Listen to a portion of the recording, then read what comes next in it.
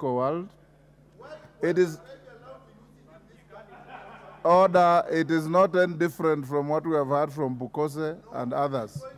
Go on, Mwenje. No- Not Eh. Mwenje. Mwago. Mwango. Uh, thank you, Mr. Speaker, sir. Uh, I, I really wanted to contribute to this issue because the picketing is actually happening in my constituency, and I'm getting calls from all corners asking me what's going on in my constituency.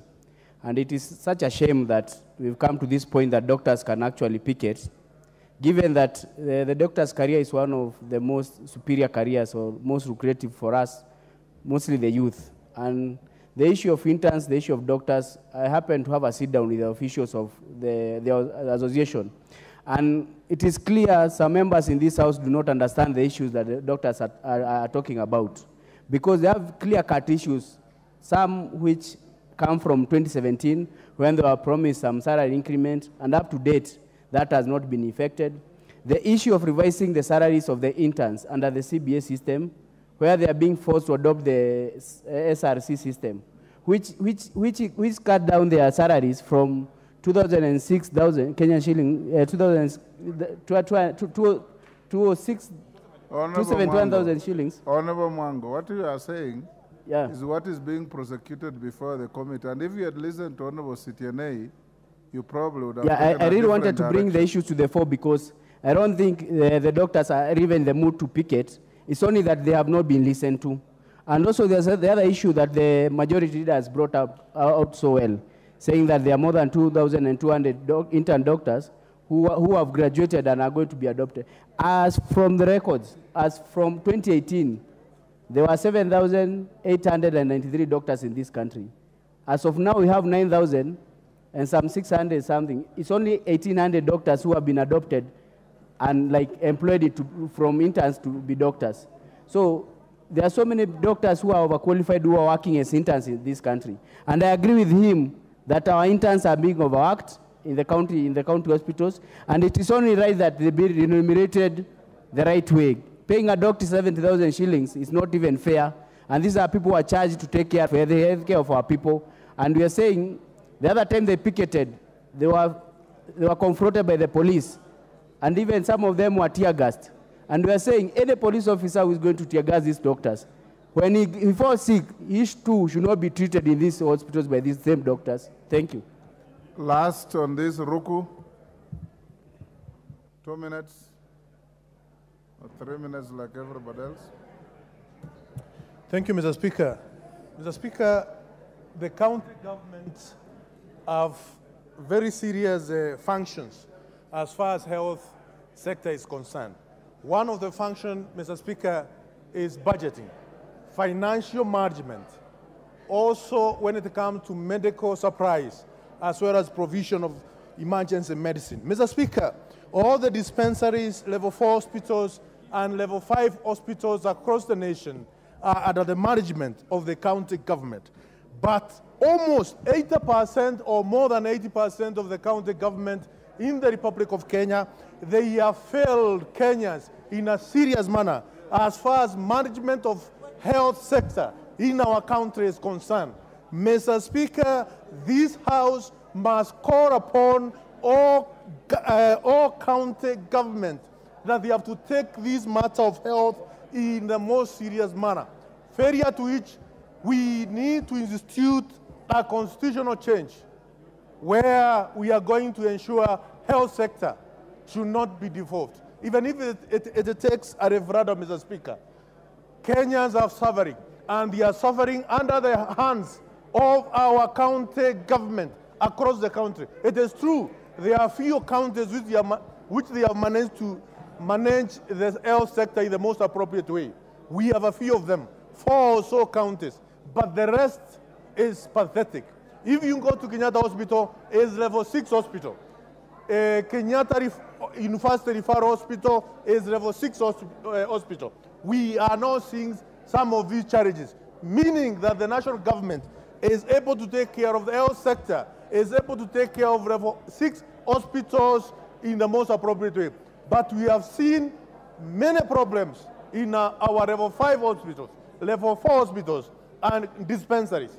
It is upon the county government to ensure they take their responsibility seriously, a responsibility which they have been mandated by the Thank Constitution you. of the Republic of Kenya. Mr. Speaker, I thank you. Thank you. All the honorable members. Members on their feet, take your seats. Members on their, take your seats. DK, take your seat.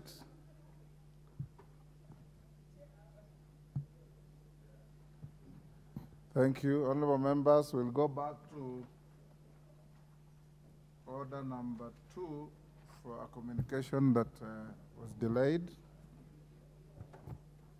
Honorable members, I wish to welcome you back to the House after the short recess, which coincided with the observance of the Easter period for Christians and Ramadan for the Muslims.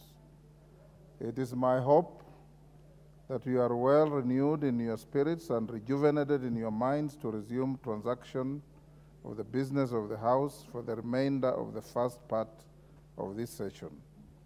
During this period, honorable members, this House is expected to consider various priority businesses, including assessing the suitability of persons nominated for appointment to the positions of ambassadors and high commissioners, ratification of the Kenya European Union Economic Partnership Agreement, EPAS, consideration of priority bills, as well as the budget-related matters. Instructively, honorable members, it is projected that the National Treasury will submit the budget estimates for the national government for the financial year 2024-25 on or before 30th April 2024. Additionally, honorable members, you will recall that prior to the short recess, the House passed the Division of Revenue Bill 2024 and referred, referred it to the Senate for bicameral consideration. It is therefore expected that the Senate will send the bill back together with the annual count allocation of revenue bill for financial year 2024-25 during this part of the session. From the foregoing, it is evident that the House has a full in tray. As a result, your dedication and commitment to the business of the House, both in plenary and committees, will be of paramount guidance, significance. Honorable members, with respect to facilitation of members, the Parliamentary Service Commission is expecting, is expediting the completion of the Bunge Tower in order to bridge the deficit in office accommodation for members. Consequently, PSC has established that members' offices in the building will be ready for occupation by the end of this week. Honorable members, you may recall on 1st November 2022, I directed the clerk to allocate part of the building earmarked for the National Assembly in readiness for occupation at the appropriate time. Further, I prescribe the criteria for allocation, consequent to which the clerk allocated the offices, committee rooms, and auxiliary facilities in the tower.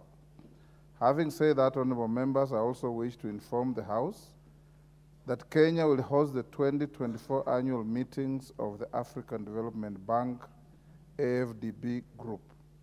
The annual meetings will be held at the Kenyatta International Conference Center, KICC, from 27th to 31st May 2024, and will bring together high-level delegates, among them being heads of state and governments.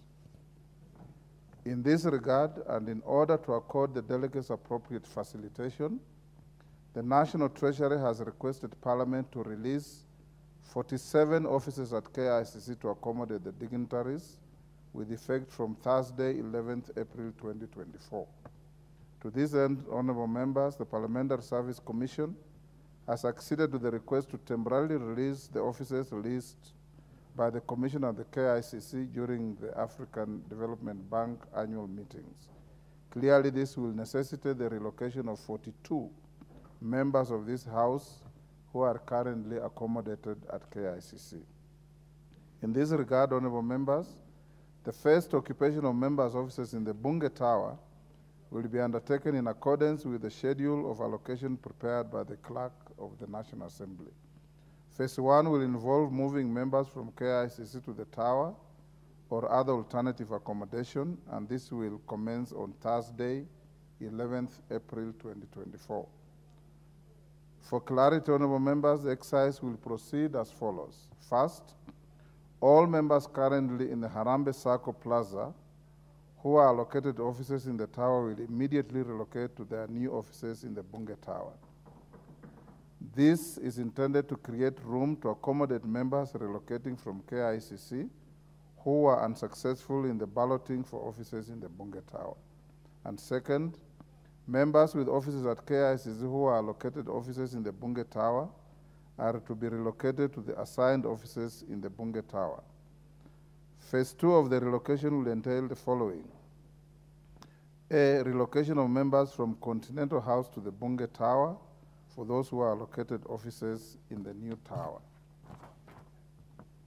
B, relocation of members from leased offices to the Bunge Tower from 1st July 2024 for the case of members who are allocated offices in the tower.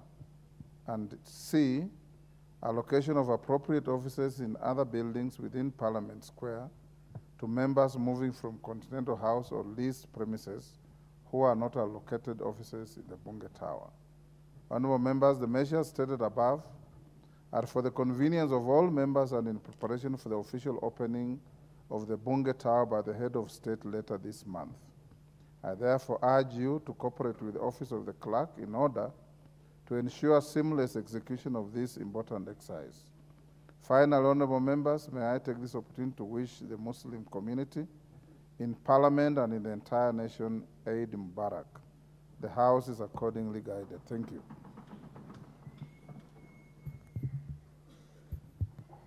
And members, Musisumbue clerk, if you are located at an office and you are in KICC, you have to move by Thursday, day after tomorrow. Because the Treasury is taking those offices to prepare for the ADB meeting that I've just mentioned. Please cooperate with the office of the clerk, and uh, in a very short time to come, Bunge Tower will be opened officially, and we hope to move as many of members from both houses to that tower. Thank you.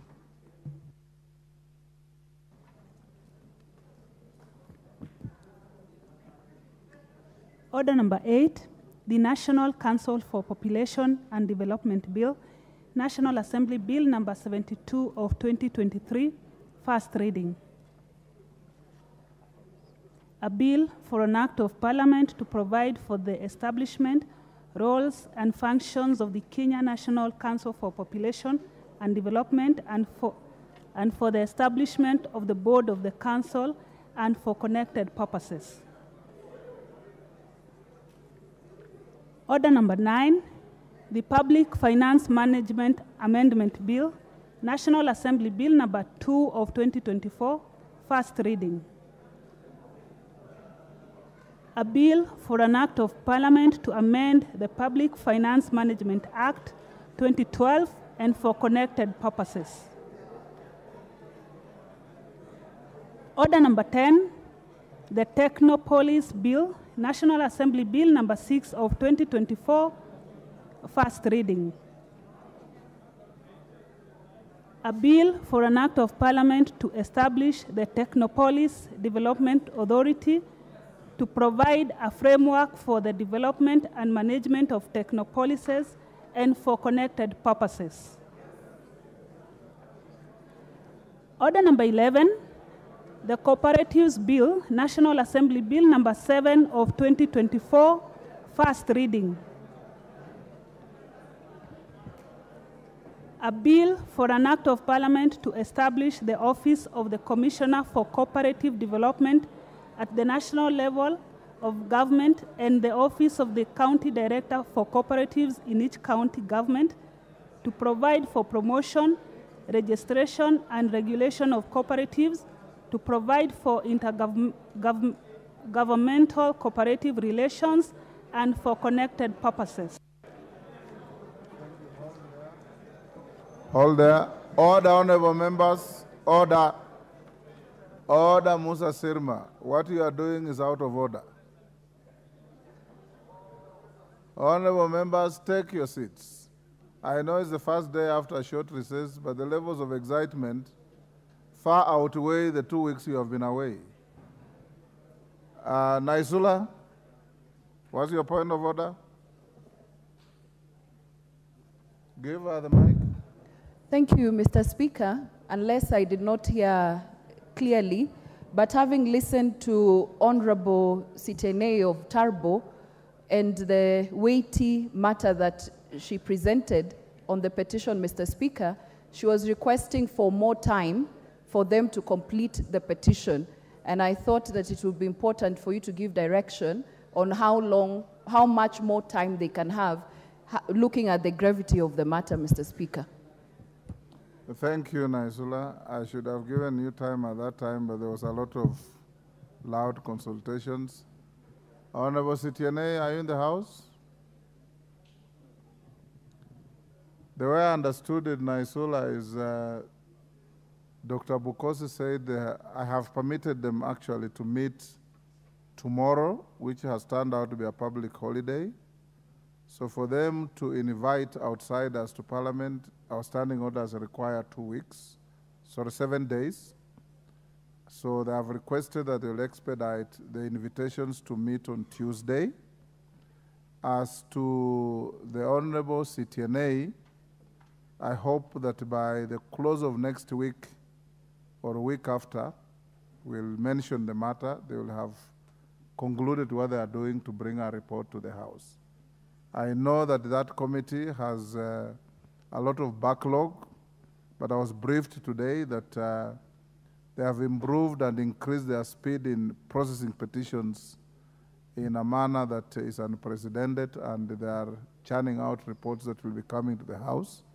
So members who have presented petitions on behalf of other Kenyans, when those reports come, you know we are not obligated to debate them. You need to go through them, and if there are any issues you wish to raise, you bring it to the attention of the Speaker, and I'll accommodate you. Thank you.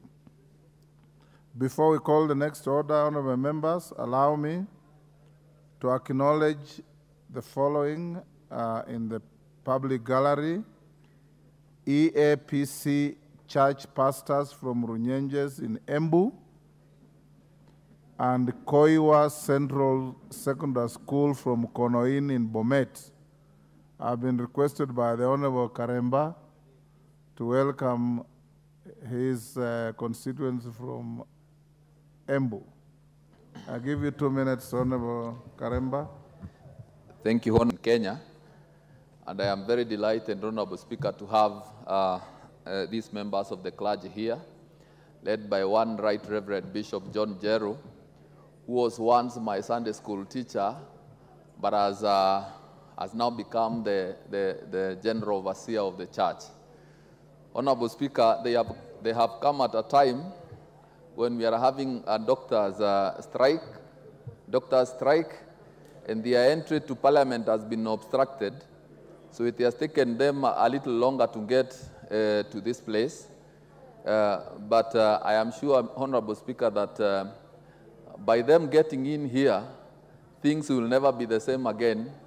I know them. I know how much they pray, and they're going to pray over this issue. And uh, I am sure soon and very soon we are going to uh, have a solution to the ongoing doctor strike. So, Honorable Speaker, uh, I wish to thank you for the opportunity to welcome them. Uh, they have been uh, very important in the, in the service to humanity, and we have partnered, partnered with them long enough to offer services to our people. And uh, we meet every so often to ensure that our people are properly taken care of, both uh, spiritually and also politically. So thank you, Honorable Speaker. Thank you, Honorable Karemba. Next order. Order number 12, the National Disaster Risk Management Bill, National Assembly Bill number 24 of 2023, second reading, resumption of debate. Honorable members, is Honorable Andrew Okuome in the house?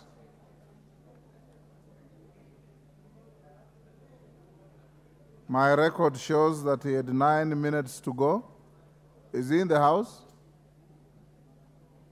Position forfeited.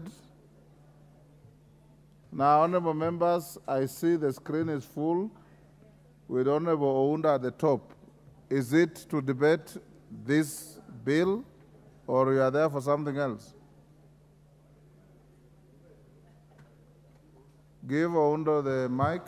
Mr. Honorable Speaker, I also welcome you back from the short recess. Yes. I had already made uh, uh, my contribution on this bill, Yes. so I leave it for somebody else to continue. I already made my contribution. Honorable, just hold on. Honorable members, if you are on the screen, it's, it's very good. You have now been wiped out. So if you want to speak to this bill, now you can log in. Oundo, proceed. I had already made a contribution to this bill. That's why I'm logging out, Chair. You had Speaker. already made a contribution. Yes, yes. Why were you top on the list on my screen? Well, probably they just like me, Honorable Speaker. It's not my mistake. Honorable Geoffrey Ruku.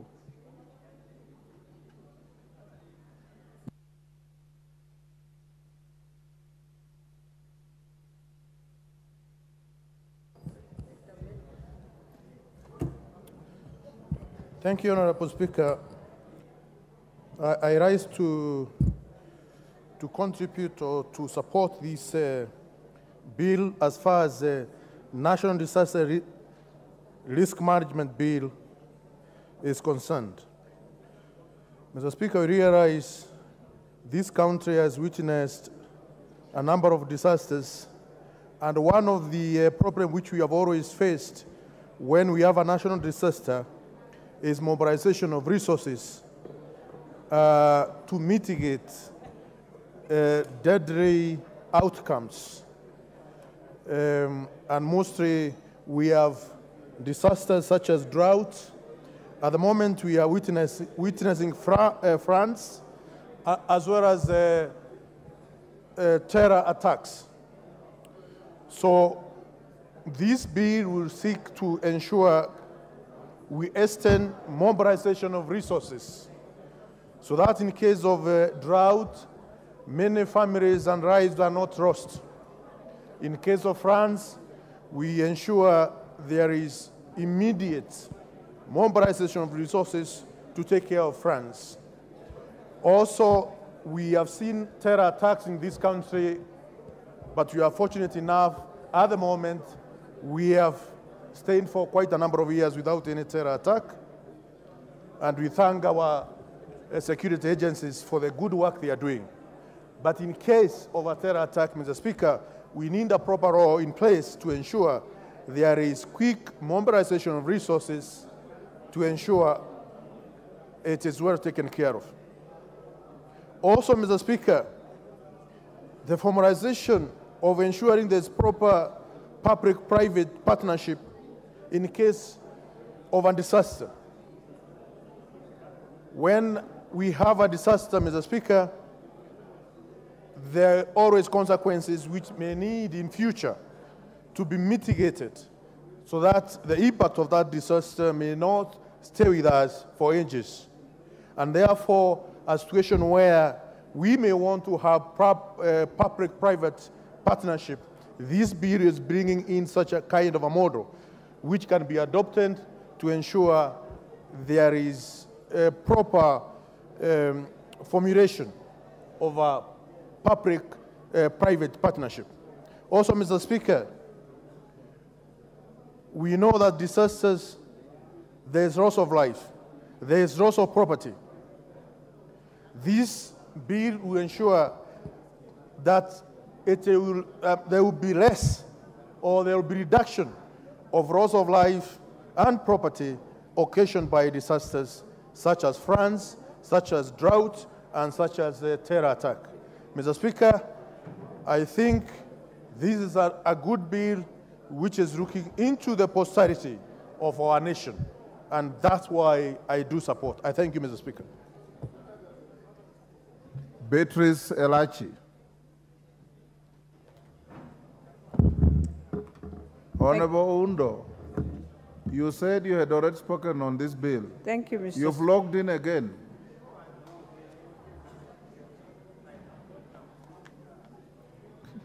Thank you, Mr. Speaker. Mr. Speaker, I also rise to support this bill. And Mr. Speaker, just to speak on the perennial disasters that we normally find ourselves, especially in Nairobi, and one of them being indeed now the floods that we have. And when you look at the memorandum of objects, Mr. Speaker, the bill is establishes the Intergovernmental Council on Disaster Risk Management and the National Risk Management Authority to ensure that there is coordination of disaster risk management issues at the national and county level. But it also says in one of the articles, Mr. Speaker, that the president may, and I'm wondering, may, when there is a disaster, why would the president may? The president shall should be the word that we need to use. Because when we are talking of disasters, Mr. Speaker, that is the time now where we need the national government to come in. Because when you look at how county governments are structured today, Mr. Speaker, and any disaster that happens, even just the recent one, that we had a flash rain on a Sunday night and the whole thing goes into disaster. Mr. Speaker, you find that the counties will take more than 10 hours to come and even just support a very simple thing that needs to be done. And so if you tell me in disaster's time that now the national government should not come in, then that one we will have serious challenges in this country. We've seen disasters in Mandera, we've seen what has happened there, either in drought or in floods, or even just buildings coming down. So one of the things we should be asking ourselves, as much as the bill looks at the shared functions and it says this is a shared function between the national and county government, I think, Mr. Speaker, we must ensure this is a more function of the national government. What the county can only come and do to support is to ensure they avail not resources of money, but manpower. But resources must come from the national government, just the way in the US when they have a national disaster. It is the federal government that comes in to stand with the people. Mr. Speaker, the other thing, Kenyans don't know when they are in disaster about county or national. So why can't we just tie up the bill and just say when there is serious disaster, it is the national government to take responsibility? And Mr. Speaker, when you look at part one of uh, the bill, which contains the preliminary provisions, but then when you move down, you ask yourself, this uh, council of intergovernmental, is it a council now where you bring us again the national team, which is already there, plus the county, or we get people who are expertise, who understand how to deal with disaster. The other day I looked at Thailand, Mr. Speaker, and they had an earthquake. And everyone in the world was shocked in how they managed that disaster. And the next morning when people were waking up, they had cleared, cleared even the bodies. They were now just removing those who were stuck and everything. So even as we speak at this, we must know as a country, we are never ready on any disaster. We are never ready. We now find ourselves in disaster is when we wake up and realize disaster is happening. So for me, the first thing, we, and we must do the simple things that create now disaster. Like now, we know why we have floods in Nairobi. It's because the drainages are blocked. And so who are those responsible in ensuring, first of all, we have drainage, second, they are unblocked. The county has to just look at it, Mr. Speaker. So, Mr. Speaker, this is a bill that comes in at the right time, yes, but it's a bill we need to really ask ourselves because I can see many of the functions sought to go back to the counties, and yet we are saying uh, the counties do not have capacity for now. So, Mr. Speaker, even as we support this bill, there is need for us to tidy up a lot of the things that have been put. And uh, one of the things we are saying uh, for example, the office of a member of a county committee shall become, uh, that was when they are becoming vacant. But this county committee that we are putting, Mr. Speaker, if now we already have, how do we ensure, first of all, they are empowered?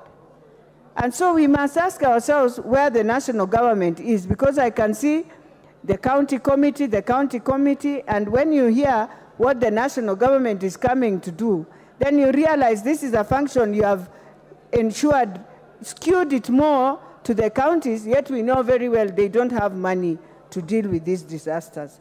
The thing that counties deal with mostly, Mr. Speaker, in their disaster is when they are looking for unga to buy for the people who are hungry, sometimes mabati. But these tough, tough things that come and God forbid, the way we are doing all these things in, the, in Nairobi, the housing and all that, if anything happens, and with this rain, the way it is raining every day, Mr. Speaker, we have to be very serious when we are saying we want this function to be with the county. So for me, Mr. Speaker, I propose that uh, when we come to really the committee of the whole, we need to look at how do we tighten up and ensure the national government takes control of more of these disasters than the county governments. With those few remarks, Mr. Speaker, I beg to support. Thank you, Member for Dagoretti.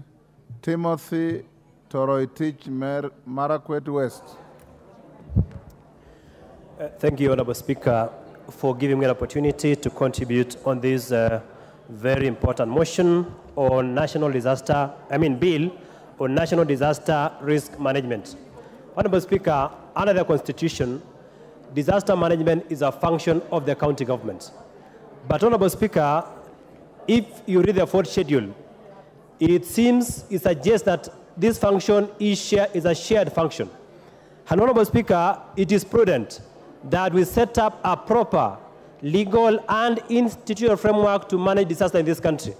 Honorable Speaker, whenever there is disaster in this country, what normally happens is that the county government allocates money.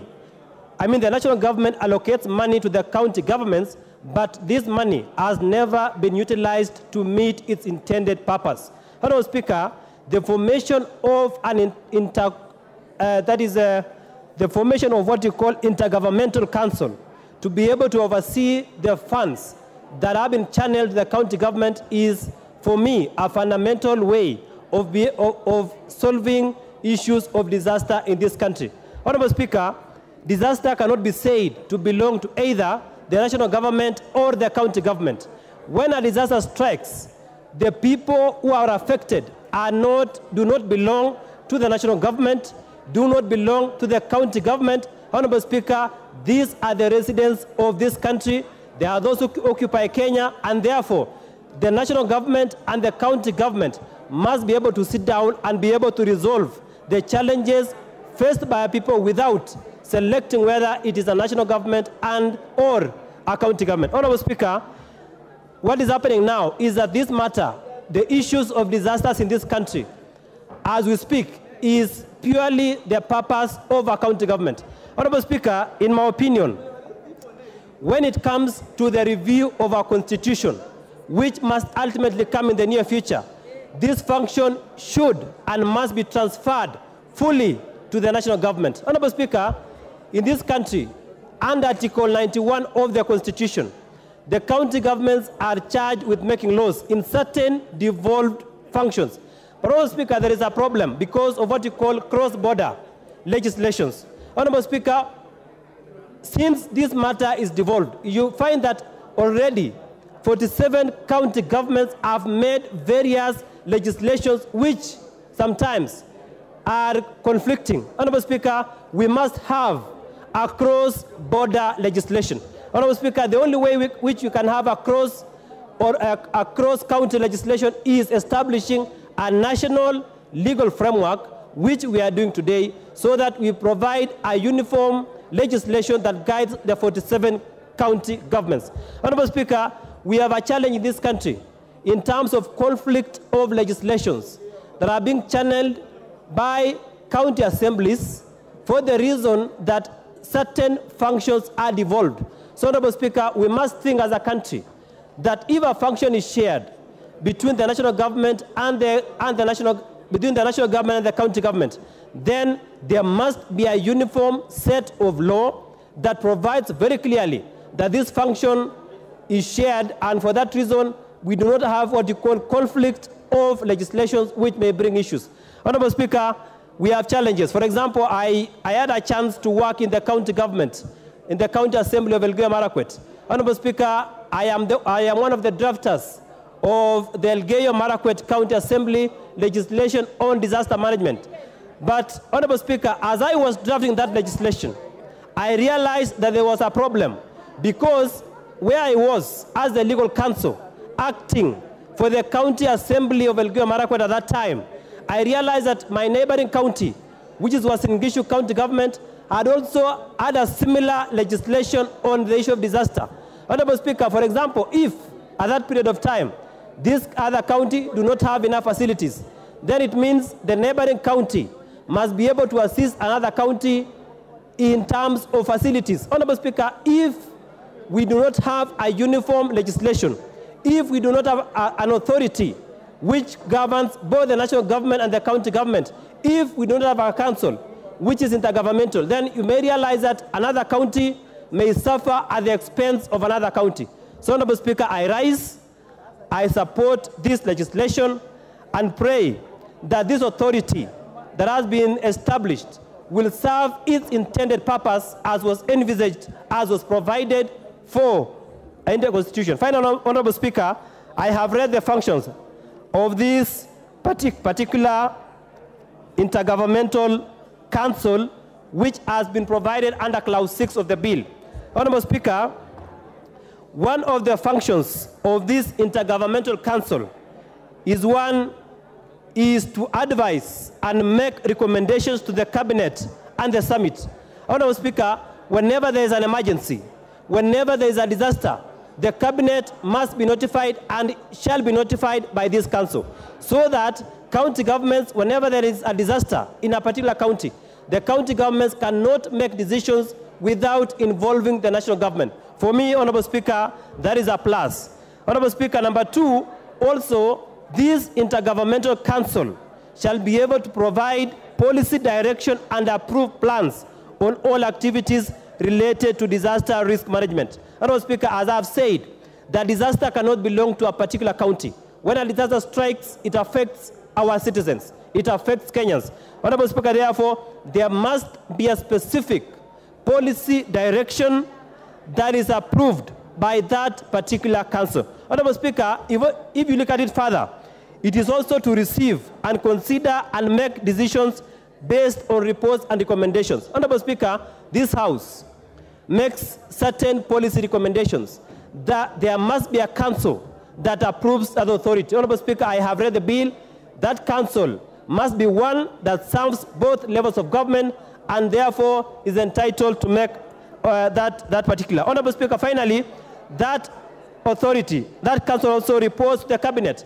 Honorable Speaker, the cabinet, in terms of policy direct, directives, all policies that affect government must be approved at the cabinet level. So, Honorable Speaker, that particular council ensures that decisions relating or policies relating to disaster management are approved by the cabinet. Honorable Speaker, as I finish, I commend the direction we have taken as a country.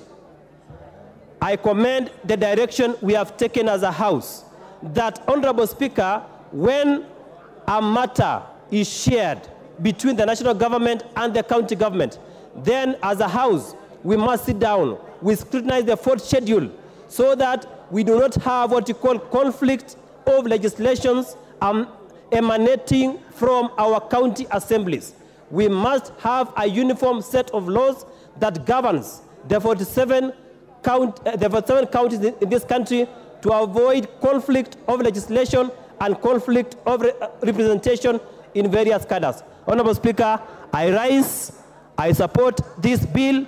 When it comes to the committee of the whole house, I will make, I will propose the necessary amendments so that we can be able to strengthen the provisions of this particular proposed legislation. Thank you, Honorable Speaker. Thank you, Timothy. Honorable members, order. Before I give the next speaker, allow me to recognize in the speakers and public gallery students and I believe with teachers from Ogande Girls High School, Homa Bay Town in Homa Bay. I've been requested by the Honorable TJ Kajwang to welcome the students. I give you one minute, TJ, because it's in the middle of debate. Give Uh, uh, uh, Mr. Speaker, I want to thank you uh, for asking me to welcome a huge delegation from Ogande Girls Secondary School, 300 girls visiting us. We have had delegations uh, of uh, students visiting us, but we have not had 300 students coming in one, uh, in one uh, delegation. These are uh, fourth formers, history students, as you see them, brilliant and bright. And on behalf of uh, their member, Honorable uh, George Opondo Kaluma, I want to welcome them to this house uh, that uh, they have an opportunity to see the speaker himself and the house has assembled. This should give them inspiration that in a few months coming, these young people should be doctors that you were talking about this morning. These young people should, very few should be lawyers, and none should be a politician, but most of them should be engineers. Mr. Speaker, I thank you for, for that opportunity. Thank you. Honorable Gideon Mulyungi, Mwingi Central.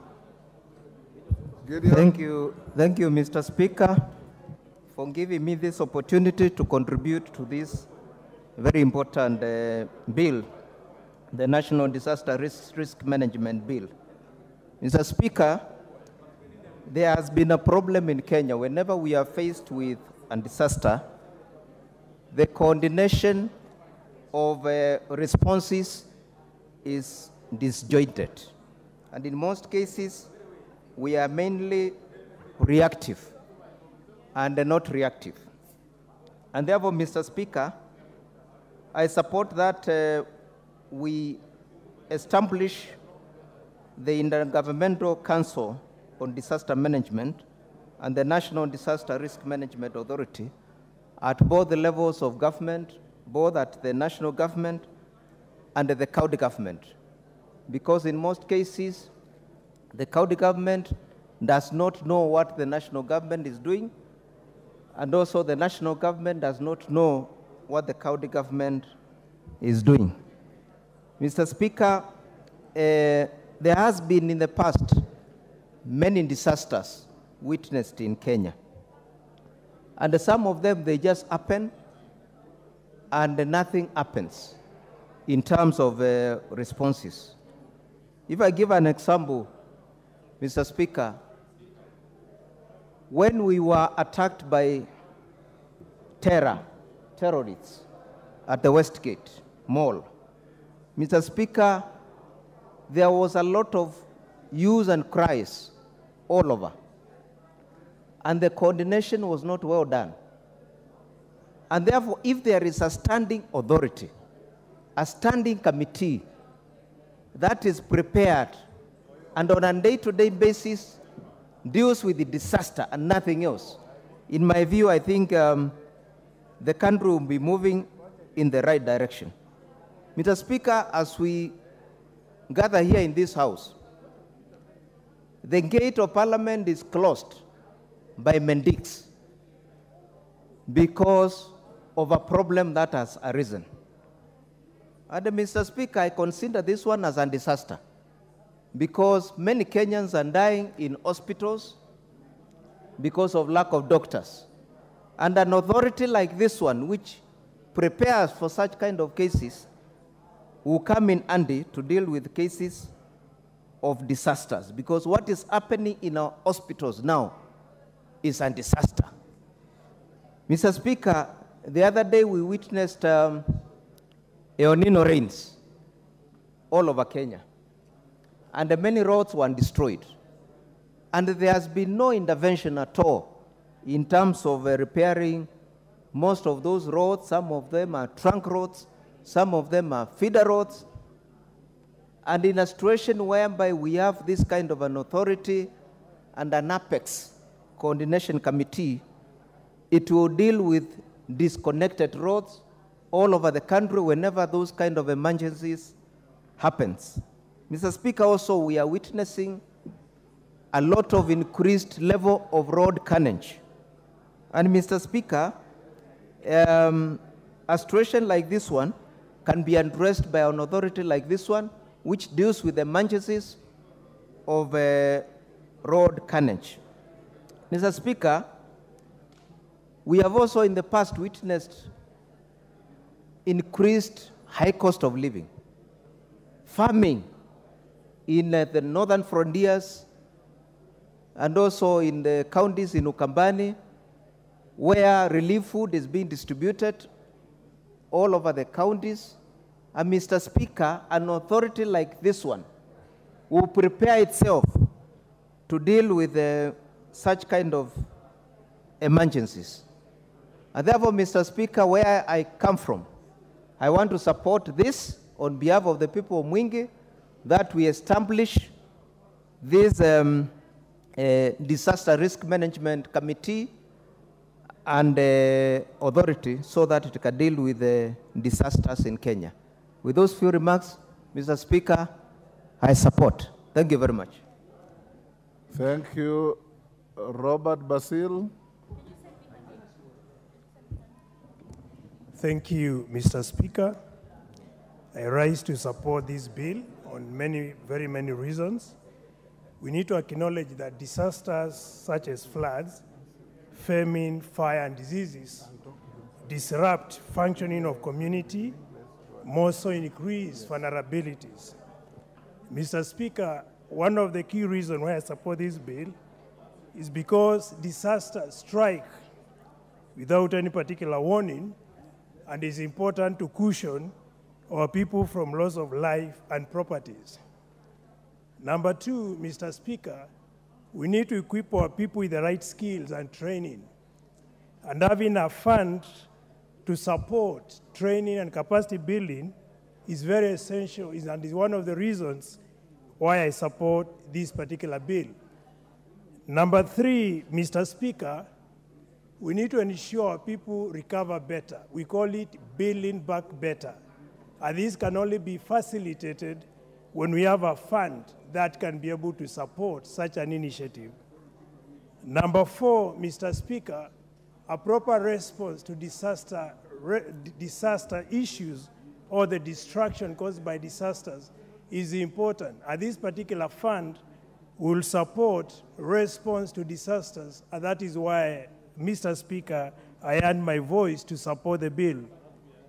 Number five, Mr. Speaker, we need to understand that although disaster management is a shared responsibility between the county government and the national government, the issues to do with the capacity of county government to manage disaster, more so the fund for disaster response, is questionable.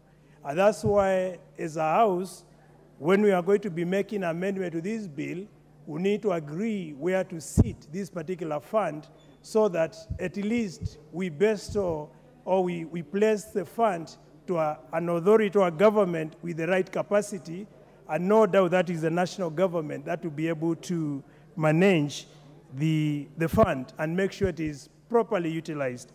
So, Mr. Speaker, now I can see Madam Speaker, I do say that with the, with the, with, with the due consideration, and having looked to the, to, the, to, the, to the important function this particular fund is going to play, I fully support the bill, and uh, I do applaud the, the move of the bill, who is the leader of majority, Honorable Ichungwa, for bringing the bill, which is very timely, considering now we are times of rains, and we are likely to witness floods, which are going to cause destructions.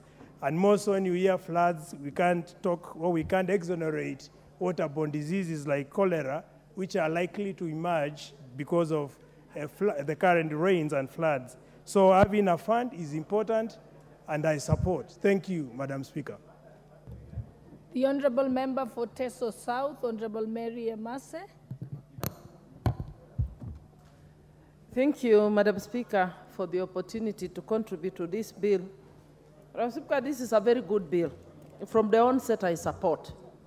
Because it is bringing together, creating a link between national government and county government on issues management of disaster.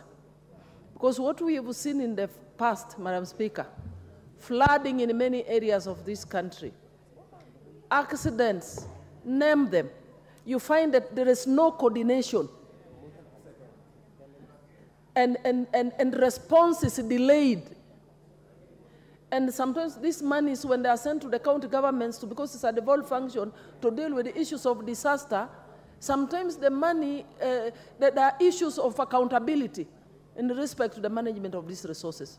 So when I see that there will be a disaster committee in every county that onboards all important stakeholders, like the Red Cross, St. John's Ambulance, county commissioner, county commander, the governor, and all uh, stakeholders within the county.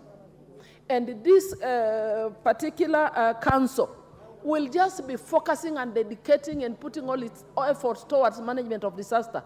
Then, Honorable Speaker, I foresee uh, uh, a situation where we're going to have proper management and quick responses to addressing uh, or mitigating issues around a disaster.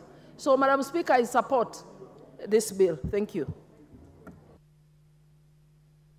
Thank you. The Honorable Member, uh, Honorable Irene Mayaka.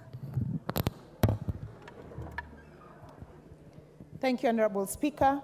And Honorable Speaker, I also stand to support this particular bill because, Honorable Speaker, I actually believe that this bill uh, has come to the House at the right time. And I think it's very progressive because in the past, we've always been dealing with disaster issues in this country with a knee-jerk reaction. We wait until a disaster occurs, and then we quickly look for a solution that only uh, solves the problem at that particular time, or in some instances, doesn't even solve it.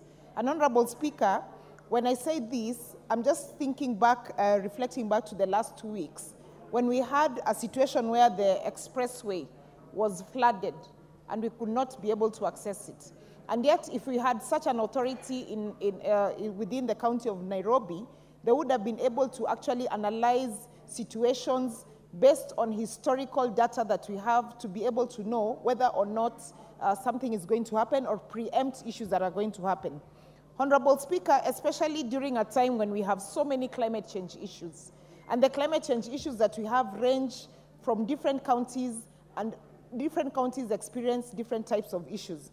Like, for example, Honorable Speaker, when I speak about my county in Nyamira, the disasters and risk management issues that are in that county would probably be very different from another county like Mombasa. And so having these uh, particular authorities customized to the specific counties is very progressive. And Honorable Speaker, I want to also um, believe that once this is established, that uh, the people who will be part of these uh, particular authorities will be able to go back into the history of the different types of disasters, the different types of risk associated with the areas that they are uh, they, they, they govern so that they can be able to actually customize them according to their areas. Honorable Speaker, of particular interest for me is part three of the bill, where it talks about classification of disaster plans and electronic information system. And why I like this, Honorable Speaker, is because with time and the fact that we are very much in the technological space, we need to actually customize our bills to be able to bring in an aspect of IT. Because, Honorable Speaker, without data, you will not be able to even um, have a clear view of what you're dealing with. You need data, Honorable Speaker, for you to be able to even make a, com a, a comprehensive report and for you to be able to even speak to other people who you want to be able to assist as well. Honorable Speaker, I also like the part that in part two of, um, of part three of uh, the electronic information system, that it also mentions that this data will be accessible to the public. And not only that, but that also they will ensure that Data Protection Act of 2019 is taken into consideration. Because, Honorable Speaker, again, for as much as we want our people to be able to access data, we must also safeguard them. But in, uh, having said that, we cannot safeguard ourselves too much to an extent that we are stifling innovation. And Honorable Speaker, I'd just like to throw a spanner in the works in terms of this particular bill, because I've gone through it, but I've not seen any aspect of AI. And what I'm talking about, Honorable Speaker, is, for example, the current issue we have with our fertilizer. If we had a drone-based system in this country that would have been able to quickly analyze the fertilizer that you're receiving, analyze the soils, um, figure out what the pH of the soils is, and be able to determine um, uh, note to note in terms of what you want to actually put in different soils, then we'd not be having this kind of problems. And so I just want to urge all of us, when you are coming up with these very progressive bills like this particular one, we should also always include an aspect of AI because artificial information, Honorable Speaker, is very important. We cannot ignore it anymore in this country, and it also just helps us to make our work easy. And so I just want to encourage um, the person who sponsored this bill, at the time of amendments, when the amendments come, and we bring in amendments that are relating to IT and information system, that they do allow us to bring in some of these progressive ideas. Honorable Speaker, with those very short remarks, I do support. The Honorable Member for Kwanza, Honorable Ferdinand Wanyonyi. Thank you, Madam Speaker. Madam Speaker, I rise to support this bill. I think it's very important that uh, we establish uh, units or departments in uh, both that can be, be able to correspond with whatever happens in the county. Um, currently, Madam Speaker, you see, and uh, from the experience, at times you find something has happened in the, in the county, and you know, you find there's no spark up, either from the government or from the, um, the county government. So if we have uh, set up uh, a coordination, uh, a departmental unit, that will be able to deal with whatever disaster that we'll be able to have. You never know, one of which is, uh, for example, we have these uh, floods. The floods sometimes affect areas, and then, of course, you as a member of parliament, you don't know whether it should come to you, and you don't have that kind of money for emergency. When you involve the county government, they equally say they don't have that kind of thing. But if you have that disaster um, management, uh, unit will be able to assist. We have cases where, for example, a bridge is broken because of the flooding or whatever disaster it is. Madam Speaker, you find yourself in a very awkward situation. As a leader, you don't know who to refer to. Had a case, for example, of uh, flood covering almost four, no, there were two, there were two wards. I didn't even know what to do because when I called my counterpart, I called my governor, and he said, but where do I get the money from? I didn't even have that as well. So, Madam Speaker, it's, uh, this is quite appropriate, and I think what we should do is to have this uh, risk management bill passed as soon as possible so that you can be able to allocate whatever funds are going to be there and give the guidelines as to how to use that fund. Because, of course, if you just put it there, um, it's so that you have, uh, if there's any emergency, you have got the central government through the member of parliament or women rep involved, plus, of course, the county government, so that it can be a secondary to the expenditure of such uh, funds. Those risk management, uh, Madam Speaker, um, risk management uh, bill, as I see it here, is something very, very important, and I think I request this House to pass it yesterday, not today, not tomorrow, so that I can be able to move faster and be able to deal with some of the disasters that actually occur uh, without uh, uh, giving a warning. Um, so I, I, I, want to take this opportunity to support this, and I hope the House uh, can have this because we are members who are affected all the time even some of the small little things like a bridge or even a road. Uh, so you, you find that they are actually coming to you. And uh, if you have this kind of funds, you can be able to see how much each side can spend. So I support this bill. Thank you. The Honorable Member for Sigor, Honorable Locha Kapong.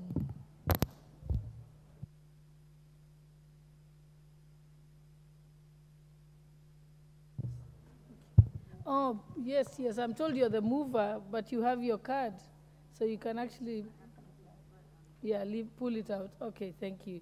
The Honorable Edith Nyenze, member for Kitui West. Um, Speaker, I would like to contribute to the next one. Thank you. The Honorable member for Kisumu, Honorable Shakeel Shabbir.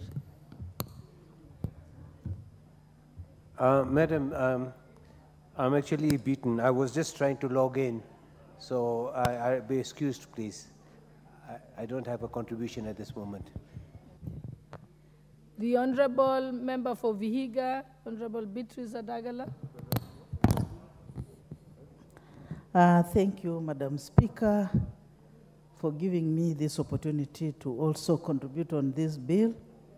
Uh, I, on, on, on the onset, Madam Speaker, I will support this bill before I even talk, because it has come at the right time, whereby we have several emergencies that ha- take place in the country, and especially our counties.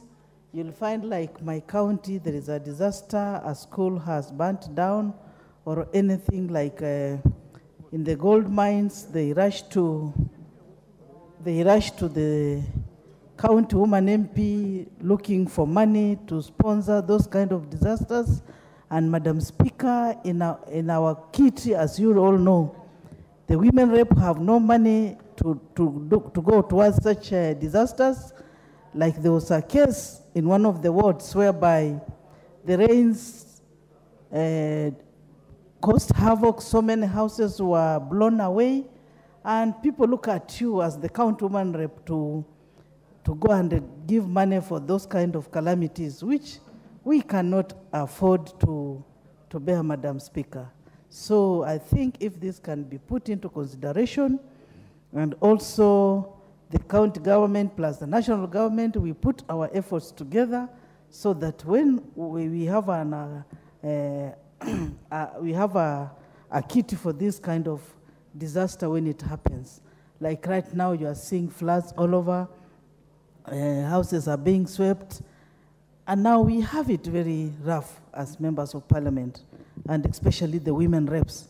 Because everybody, when houses are swept, everybody tells the people, the women rep can do that, and uh, the, the, the county governments, the governors keep quiet.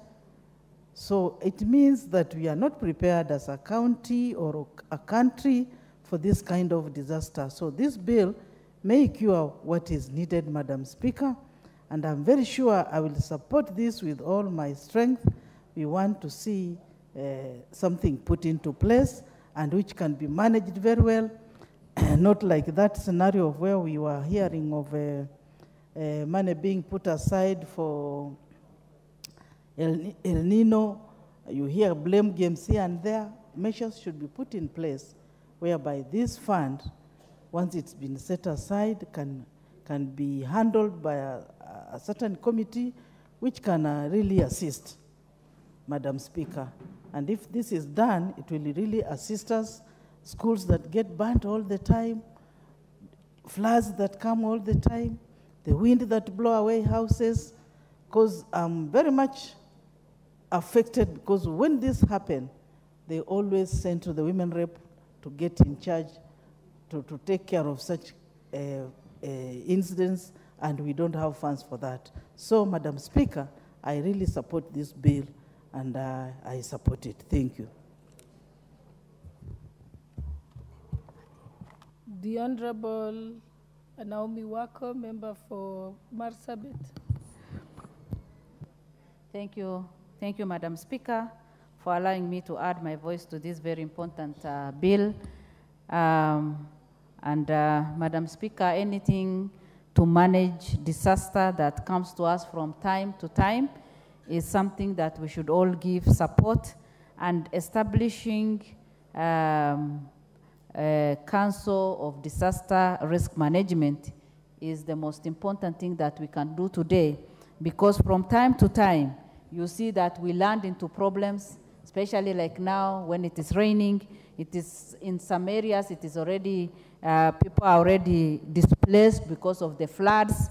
And especially in the areas that some of us come from even the wind comes and blows off the, the schools um, um, the roofs and then even the houses and most of the time we land into problems that we are not even prepared for. So if at the county level and at the national level we have disaster, national disaster risk management bill, then that can, hide, can, can guide and can help.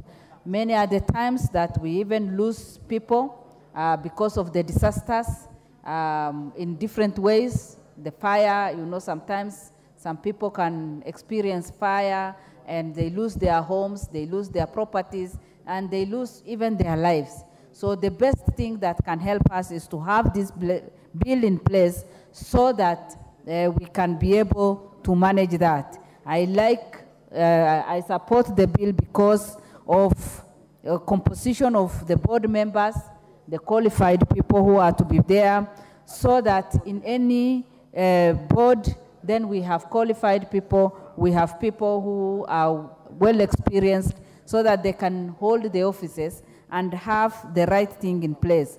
The bill has taken care of different things, uh, vacation of offices.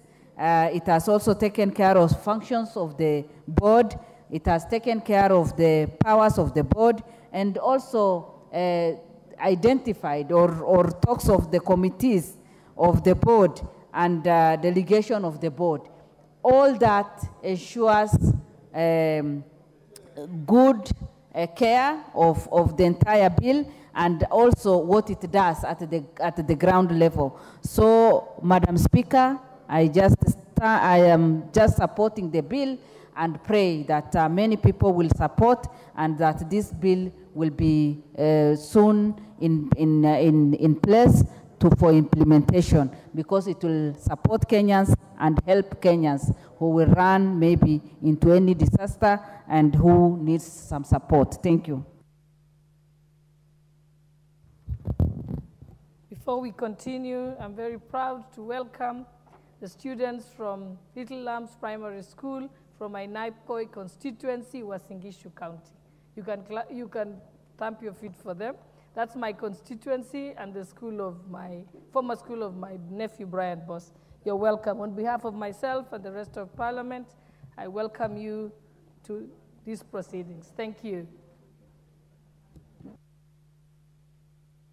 The Honorable, the Honorable Member for Bondo, Honorable Gideon Ochanda. Uh, thank you, Madam Speaker. Madam Speaker, as I rise to support the bill, uh, I think there are three things that we need to look at very keenly. When we look at disaster, we look at the issue of emergencies, and we look at the issue of crisis. Now, I think these three things, uh, we really have to either define them or to place them exactly where they belong and to be prepared for them. Because many times, what we, uh, sometimes even the kind of debate that we are having around here now, Madam Speaker is indicating a, a disaster as a crisis. But then there are many times that we also must look at disaster as an emergency. And we look at, when you look at disaster as an emergency, the level of preparedness in this country is almost zero. Emergency or disaster does not go with bureaucracy. And what we have, and even some of the proposals that we are talking about, are still creating bureaucratic arrangements. You're still talking about a council, you are still talking about arrangements in terms of how to, to, to get to address issues of, of, of, of emergency or issues of disaster, Madam Speaker. Uh, so in my, in my view, uh, we have to really rethink as a nation in terms of how we want to look at disaster. Uh, there, there, are situations like when you look at the kind of, of bureaucracy or uh, levels of approvals that you need to respond to a disaster, I think sometimes they are very unnecessary. I remember a situation arose here one time where there were people who were stuck in the lake because of hyacinth. And, and getting a response, because we wanted a, a, a, a chopper just to airlift some two or three people. Imagine the guys are stuck in waters and we are told you must write to, to, to some disaster committee in Eldoret, or you must write to somebody in charge of the police system for purposes of emergency. For how long do you look at this thing, look at in terms of raising a letter to get to an office, to have a council sit down to approve that this disaster is actually a disaster that requires a response. So, Madam Speaker, we really have to think of this uh, generally. And when we think of it, we must uh, look at the proper definition of these things. Because sometimes we are trying to place uh, arrangements for emergencies, uh, yet we don't place uh, arrangements for crisis, crises that even we are forewarned. Like when we are talking about disaster uh, in terms of flooding now, these ones we are forewarned. They can't be a disaster anymore. When you are talking about, about uh, uh, uh, more, uh, drought, we are many times forewarned. There are signals that are sent. So when we are looking at that, we don't need to look at it as a disaster. We need to look at it in terms of how well are we prepared for purposes of signals. Because that is not really, a, that's not a disaster in my view. That's a crisis in waiting, and we are forewarned. We are told that no, this is likely to happen. We are now told that rains are going to be with us here until June, for example. The level of preparedness, why do we want the normal bureaucracy to address our crisis? Because these are some, some of the things that, as we are forewarned, uh, we really now need to put arrangements that can take care of issues of crisis, but not issues of disaster. So, but when you look at a, as a, at a disaster in the direction of an emergency, some of these bureaucracies are unnecessary. We need spot-on uh, reporting system that can respond to when there are emergencies. And I think that's where some of the members, in my view, are either taking disasters to be crises which you need to prepare, or some are taking disaster as emergencies. But if you look at them as emergencies, we are less prepared as a nation. Emergencies don't need bureaucracy. Emergencies need spot-on responses, and this is a structure that must be in place outside the arrangements for crisis. Crisis that we are forewarned, crisis that indicators are clearly there that they are going to take place. So those ones require an arrangement that we don't try to put together in terms of disaster management, Madam Speaker. And then again, issues of disaster sometimes require immediate low-level responses.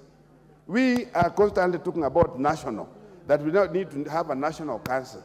How do you respond to a disaster in a village through a national council?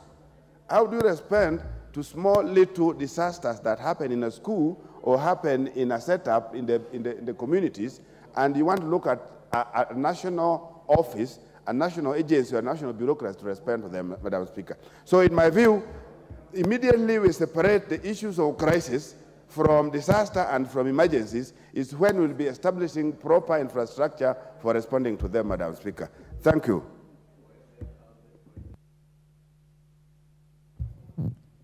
The Honorable Daniel Karitho, member for Igembe Central. Thank you, Madam Speaker, for giving me this opportunity to add my voice to this very important bill. Madam Speaker, the National Disaster Management Authority will be very crucial and very important agency in this country. Madam Speaker, the disasters that have been falling in this country have caused us a lot of damages and a lot of losses. Madam Speaker, the main uh, essence of uh, this uh, agency is mostly on prevention. The, this country has become a country of age, and it will be very embarrassing whereby we are met our pants down by disasters without being prepared. Madam Speaker, for example, the flooding. The country should be prepared and have policies on place and know when the rains will be excess so that you can be in a position even to collect the floods and use that rain in future for, other, uh, for, for useful purposes. Madam Speaker, the country cannot afford to be uh, losing year in, year out through these uh, uh, uh floods. Madam Speaker, we have cases of burning of schools, burning of properties.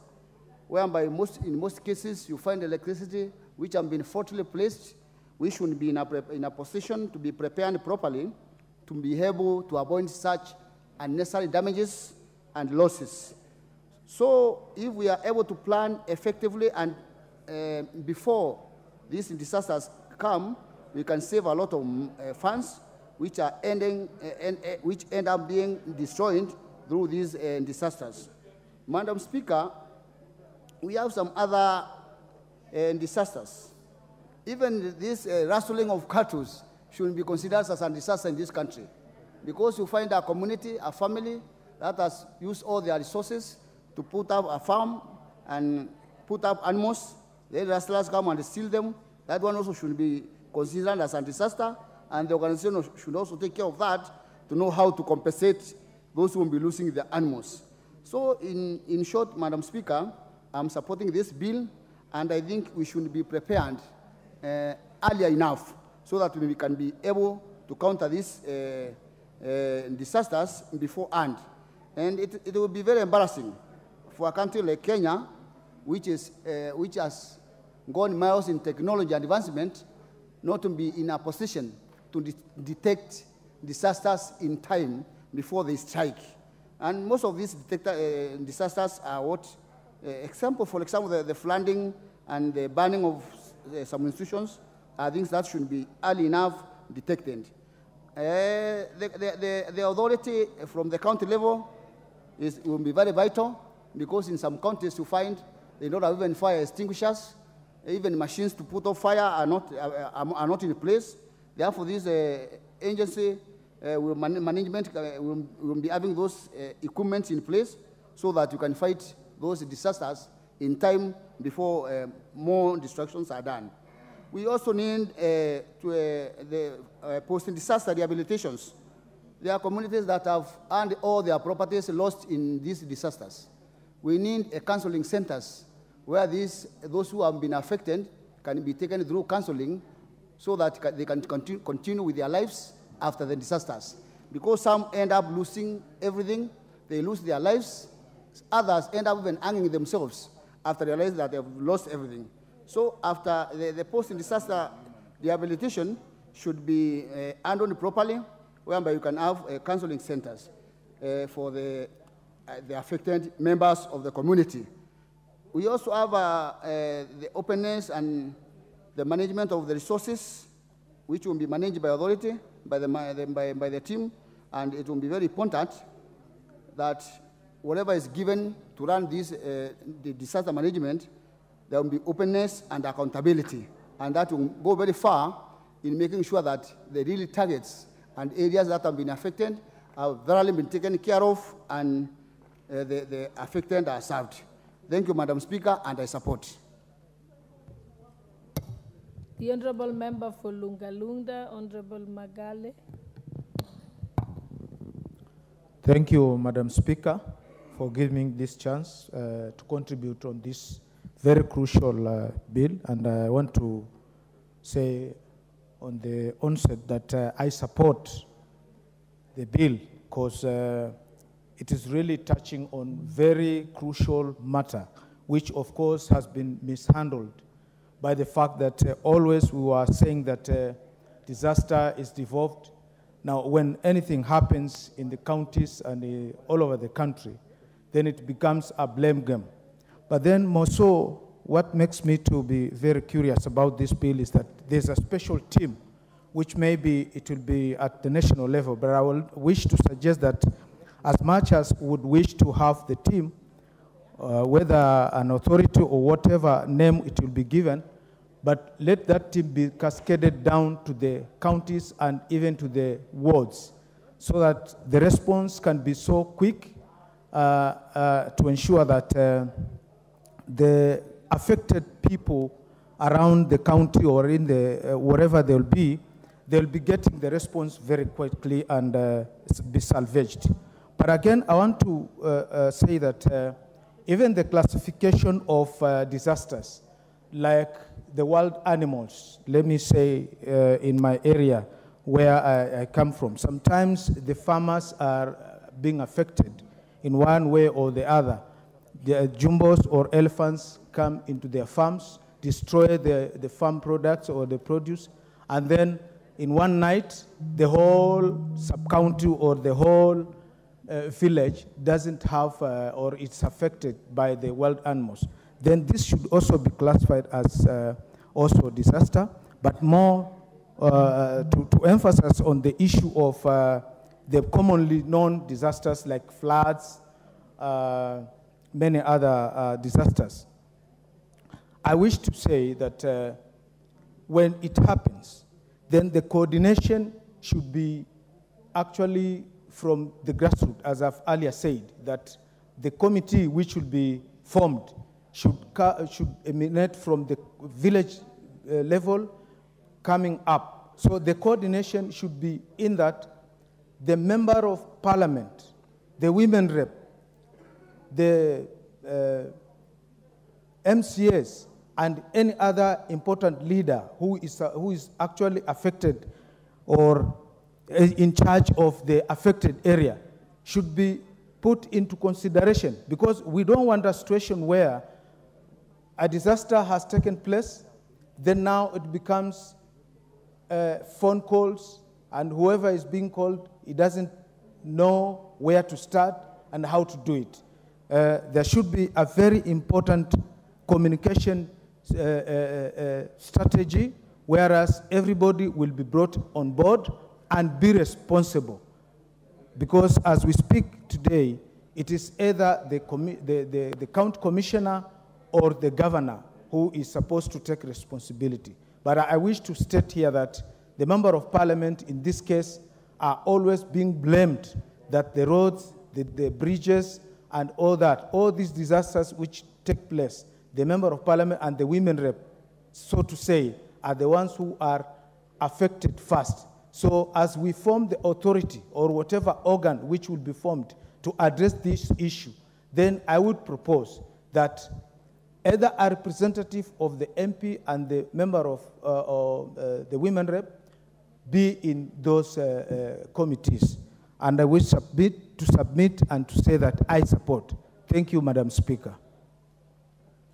The Honorable Member John Makali, member for Kanduyi. Thank you, thank you, Madam Speaker, for the opportunity to also weigh in on this particular bill. At the outset, Madam Speaker, I will say I actually support the bill wholeheartedly. Schedule 4 of our Constitution actually grants the power to manage and control disasters to our county governments. Equally, Schedule 5 gives national government also powers to control issues related to disasters. So this bill, Madam Speaker, comes in at a very handy stage to provide a legal framework for the management of disasters, risks, and emergencies. Madam Speaker, in the past we have had floods, we have had droughts, we have had, uh, uh, we have had animals dying. We have had many, many risks in our respective constituencies and counties. But ultimately, we have not had a legal framework that provides for the coordination and management of risks and disasters as and when they occur. So, Madam Speaker, this bill, whose object is basically to provide a legal framework for the coordination of disaster and risk management activities in the, both at the national level and at the county level, is appropriate and is welcome at this particular stage. Of critical concern and importance in this particular bill is the creation of an authority that will be able to coordinate all these activities relating to droughts, disasters that happen and occur in our constituencies, counties, and the country at large. This authority that is created will be able to harness information, coordinate all the activities, so that we do not approach the issue of disasters and risk in an uncoordinated manner like we have been doing in the past because there has been no legal framework. So this particular bill comes in to fill a lacuna that has been existing in our laws, the absence of a legal framework. We keep on saying, Madam Speaker, information is power. If we look at chapter 3 of this particular bill, it sets up an electronic management system that has to give information, provide information to apprehend uh, uh, disasters that are supposed to come, to look at past events and be able to apprehend them so that we can be able to be able to control them. So the bill is literally well-intentioned, Madam Speaker. In the recent past, we have had disasters that have come, and we have not really managed them very well. We have had funds allocated to them, but those funds have not been properly managed. They have become cash cows for some individuals who have taken disasters as an avenue to, to, to, to misappropriate funds. This bill has ample provisions that criminalize misappropriation of funds that have been actually been set apart for management of disasters in our respective constituencies, wards, and counties. And of critical importance, Madam Speaker, Article 6 of our Constitution critically says that the county governments and the national governments shall consult and cooperate in the, in, in, in, the delivery of services to, our, to, to, to the citizenry. This particular uh, bill sets provisions for coordination between the national government and the county government in the management of disasters. During the committee of the whole House, Madam Speaker will be making some proposals to amend several provisions regarding the composition of these county committees, and the national committees will be able to deal with uh, issues relating to disaster and risk, to include other provisions that will make this act more fulfilling in fulfilling its objects. Madam Speaker, I entirely support this bill and, and urge that we pass it. Thank you, Madam Speaker. Thank you. The Honorable Edith Nyenze, member for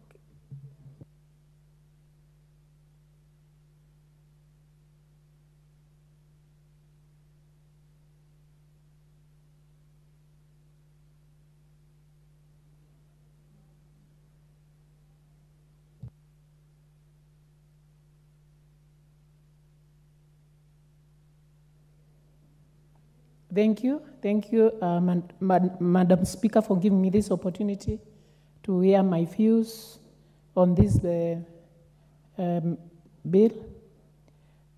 Uh, this, it, it seeks to establish a risk management authority, and I actually support it because it also seeks to establish a risk management fund, which will provide funds um, for risks and disaster so that uh, we as a country, we are prepared and also have a mitigation response in risk management matters. So it's uh, actually a, a bill which has come at the right time to actually address some of the issues which have affected us as a country and which have caused, has caused a lot of death in, in our country. And uh, with such, um, it also seeks to uh, establish an authority, and with such an authority, we would have a central place where disasters can be reported, where emergencies can be reported, and it's even better because there is a risk management committee in the counties where the governor is the chair, and with such uh, uh, representation up to the counties, then it will be very easy to even report um, disasters because from the, the, such committees, then they will be able to establish whether a, a risk is uh, for the county to handle or whether it's a national disaster for the national government to handle. And uh, in, in the past, the coordination has been bl uh, blamed for slow response uh, to crisis. The coordination has been blamed, but now with the establishment of such an authority and with the presence in the county, then uh, the response will be very fast, and this will save lives. So it has come at the, right time. Um, but, Madam Speaker, uh, some of the disasters which occur every time, it should reach a time when they, no, they are no longer uh, uh, labeled, should not be labeled as disasters. Because if something comes every time, if there is flooding in a river every time, then we should come up with a, a solution because you already know the problem. A solution of either uh, building a bridge or coming up with um, a solution. Something like drought. Um, this is something which we know if uh, the, uh, some, some areas will be, especially the ASAL areas, will be affected. And with this the risk management fund, with the funds, then what can be done is that uh, when there is plenty of harvest, food can be stored, and so that when there is drought, such areas would be actually be uh, provided with food. So with such a fund and with such an authority, then some of the risks should, with time, stop being disasters. With such a fund, something like fire, then we should have a fund where we can buy fire equipment and also with a preparedness, uh, we will be able to attack uh, immediately and respond immediately so that we save lives. Um, Mad Madam Speaker, the, I know of a, a river, River Enziu, I know it's in Honorable Mulyungi's uh, uh, place. It killed so many people sometimes back. And if we could also come up with such rivers which uh, are in disaster, because for it to kill people, so many people, although it's being uh, constructed, um, if there was this authority, it could have come up with some uh, mitigation issues so that the, the, the, the, the, the bridge is constructed. But, but it is not, it has, the, the project has been started and it's not over. I also have an, um, an accident-prone area uh, in my constituency where after every few days people are killed. The road has a problem. So if, if are deaths which are caused in this road between Kombo, Kabati, and Katutu, if um, the, the, the, this authority should also look at such things where why is this happening every time and then come up with mitigation uh, measures and with the funds it will be able they will be able to come up with a solution for all these uh, disasters. So with that madam speaker i support the bill and say that when it becomes an act then we'll be able to save lives. Thank you madam speaker. The honorable majority leader Thank you, Honorable Speaker. I rise to support this bill. Honorable Speaker, as uh, was well said by the Honorable Lochakapong when he moved this bill on my behalf, and allow me, Honorable Speaker, to take this opportunity to thank him for not just moving this bill on my behalf, but also having led his committee in consideration of this bill. And Honorable Speaker, going through the committee's report, I do agree uh, with a number of their proposals, Honorable Speaker. And it's also important, Honorable Speaker, to know that this is a bill that uh, I did in the last parliament and is among the bills that lapsed, which we uh, sought to revive uh, in this 13th parliament. And the need, Honorable Speaker, emanated from the desire to have a proper legal framework uh, that would coordinate disaster risk management in the country uh, because we lacked that, Honorable Speaker, and, and we still lack. Honorable Speaker, I remember the time I came up with this bill was immediately after the Garissa uh, University terrorist attack. And it was sad, Honorable Speaker, that at that time, and uh, I would believe it's still the case today, in the absence of having a coordinated way in which we manage our disaster, uh, disasters and uh, management of risks that uh, would uh, contribute to more disasters. At that time, Honorable Speaker, I remember when the terrorists hit Garissa University, and so many students were shot, some killed, some injured, and you can imagine the anguish that parents had. Garissa at the time was around uh, summer times, in the summer times in Kenya, Honorable Speaker, but uh, temperatures soaring to highs of close to 40 degrees Celsius. And I had an engagement, Honorable Speaker, with a medical officer who was serving in the region at that time and coordinating that disaster from Garissa.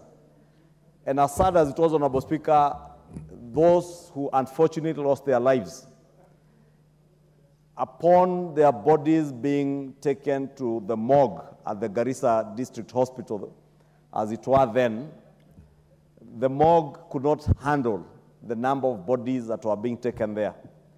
And bodies by that evening had started decomposing.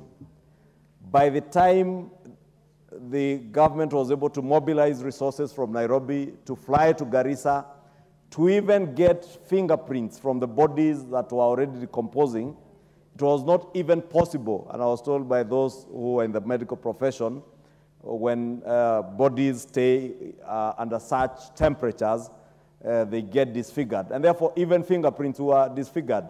And that's why you realize it took a long time for families who are already notified that they have lost their loved young ones at the university, but they could not be able to identify what body belongs to who.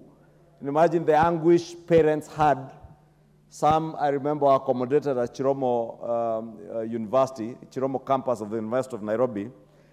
And there were harrowing stories of parents being subjected to walk from Chiromo all the way to Nyayo Stadium every morning, going to wait for buses at uh, uh, the um, Nyayo Stadium to see if they would be able to identify those who are coming in buses from Garissa, be able to get information as to whether they have lost their loved ones. And eventually, Honorable Speaker, I remember I engaged with one parent who had traveled all the way from West Pokot, sold his three goats to get fare to come to Nairobi. And he exhausted the money that he had sold his three goats through uh, um, uh, trying to get accommodation in Nairobi and had to walk every day when they were eventually hosted by the University of Nairobi in Chiromo. He had to walk every day for almost a week and a half before he finally identified his deceased child from Garissa University. And that motivated me, Honorable Speaker, to ask myself, what is it that we can do to ensure that if such a disaster ever struck again, there is a coordinated way in which we can handle such a disaster or others, Honorable Speaker. And from members' contributions, you can hear the anguish even ourselves as members of parliament have to go through every now and then with simple disasters like the blowing off of uh, roofs of our primary schools by strong winds or floods.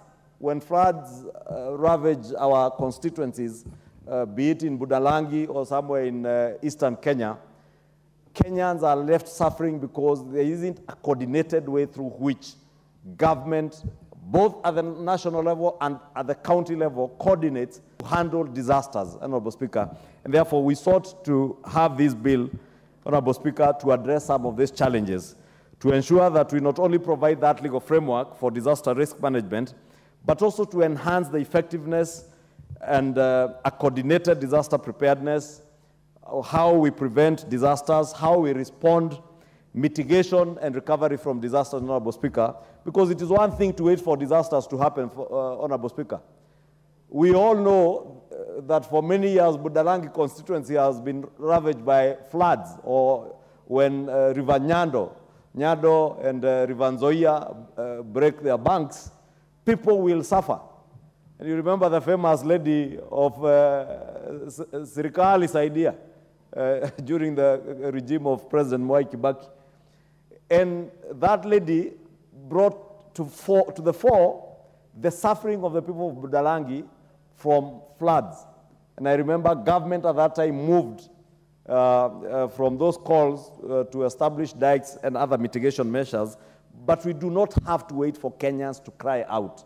We should be proactive. We should uh, uh, move ahead of time to see how we can not only prevent uh, and mitigate disaster, but also ensure that Kenyans are able to recover quickly post-disasters, Honorable Speaker. And therefore, this bill seeks to address some of those issues uh, and also to reduce uh, disaster risks and vulnerabilities uh, at the national and also at the county levels of government. Honorable Speaker, members are aware that every county government and even the national government has funds that are usually set aside for unforeseen emergencies. And these contingency funds, Honorable Speaker, are never utilized for the right purposes, and you find that a disaster hits a county, and the county governor of that particular county has no resources. Yet in their budgets, they had budgeted for a contingency fund for such eventualities and emergencies. By the time the disaster hits them, they are, not, they are ill prepared and are always calling on the national government uh, to come to their rescue. And therefore, we want to have a coordinated process so that we know how do we establish that each of our county governments are budgeting and providing funds for disaster mitigation and disaster management? How do we also ensure, as members of parliament who are in charge of budget making, that the contingency monies that are set aside to deal with disaster management are indeed appropriated for that particular purpose, Honorable Speaker, and also coordinate so that when it is a county level disaster or a disaster that is restricted within a particular county, the county can first utilize their resources before they go out to look for help. Honorable Speaker, also we have measures to know through a disaster management uh, authority, uh, Honorable Speaker, how can we even coordinate the mobilization of resources? Honorable Speaker, look at the COVID pandemic.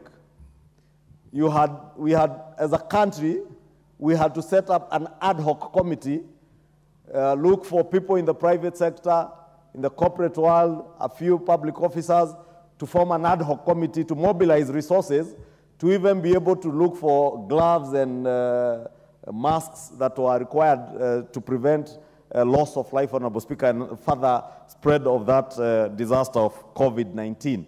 Honorable Speaker, all these things have served to remind us as a country that we are always ill prepared and we are caught flat-footed when disasters strike. And it is high time that we prepare uh, in a way that we'll be able to enhance our own resilience uh, to the impacts of disaster, uh, disasters and other risks, and also issues that touch on climate change, Honorable Speaker. We are now in the discussions of climate change and, uh, Honorable Speaker, how we mitigate issues to do with climate change. With the changing climate, Honorable Speaker, floods, uh, hurricanes, Honorable Speaker, will become very common things. Honorable Speaker, if we don't take uh, deliberate measures for reforestation, soil erosion, landslides will be so common, Honorable Speaker, and unless we have a system where there is somebody checking on what we are doing, both at the national level, at the county and local levels, Honorable Speaker, to ensure that even as we deal with climate mitigation, climate change mitigation measures, we're also looking at the effects of that, uh, the, the changes in our climate in matters touching on floods, as I said, soil erosion, uh, washing away all the uh, good soils and the nutrients that our crops need, Honorable Speaker, exposing us to uh, other disasters such as hunger and uh, droughts, Honorable Speaker. Uh, landslides in those areas where they are prone to landslides, like in Muranga County and other areas where the, the, in, like uh, Elgeyo Marakwet, Honorable Speaker, and West Pokot, you remember the disaster that struck us about two or three years ago. And I remember then, Honorable Speaker, when that disaster uh, struck in West Pokot, even the minister who was in charge of the interior, the minister who was in charge of the small disaster unit that uh, uh, is hosted by the Ministry of Interior. I can't remember the name of that small unit because there are small units within the Ministry of Interior that deals with disasters. The minister in charge then, the Honorable uh, CS, former CS Fred Matiang'i, told the country unashamedly, Honorable Speaker, that he could not access the disaster area because of the weather at that time. Flying a military helicopter. But the then deputy president, with a small civilian helicopter, was able to access that place, Honorable Speaker. And that also speaks to the disdain and contempt that some of our public officers had with Kenyan people, that you do not relate to the suffering of the people when disasters strike. It took the then deputy president, uh, who is now serving as our president, flying a private chopper and even mobilizing private resources from Kenyans to be able to help the people of West Pokot then. And I was praying the member of parliament uh, from that area was here, Honorable Speaker, because you do not know when such other disasters will strike. But we do not want to find ourselves uh, in a situation where our current Minister for Interior will claim that because of weather, when he has choppers that have navigation equipment, he could not access a certain place because there is no proper framework as to how you respond to such disasters. And we want to find ourselves well prepared, Honorable Speaker. Honorable Speaker, I do agree with the committee's report uh, that indeed, on hindsight, there are certain changes that we can make to this bill, and I agree with them on the deletion of uh, some of the clauses, like clause 5, 6, and 7, uh, that touch on the establishment of an intergovernmental council that will comprise uh, uh, 10 members. And I want to uh, thank the committee and the chair, Honorable Chakapong, and say I, I, do agree with them, and we will support the amendments that they have proposed uh, during committee of the whole. Honorable Speaker, with those many remarks, I beg to support, as I also thank the many members who have spoken in support of this bill.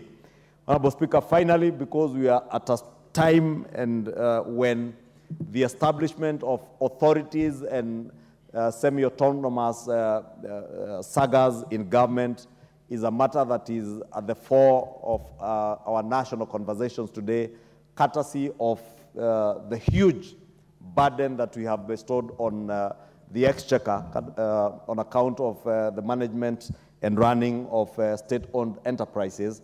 I want to state, Honorable Speaker, we must, during the Committee of the Whole, ensure that the uh, National Disaster Management Authority will or should be a very lean authority that is more of a coordinating role, but not one that creates more bureaucracies uh, to, to get money from the exchequer.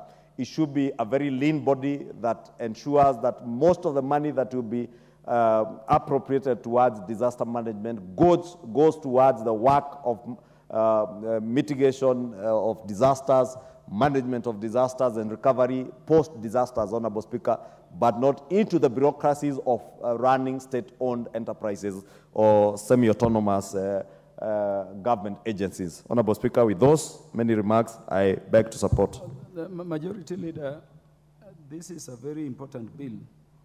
You are always very educative, and I'm, I'm happy the bill is coming from you. But I wanted to pick your mind for purposes of this general debate. Before, before you sit, I know you will have your opportunity to reply. I don't know whether you have the bill.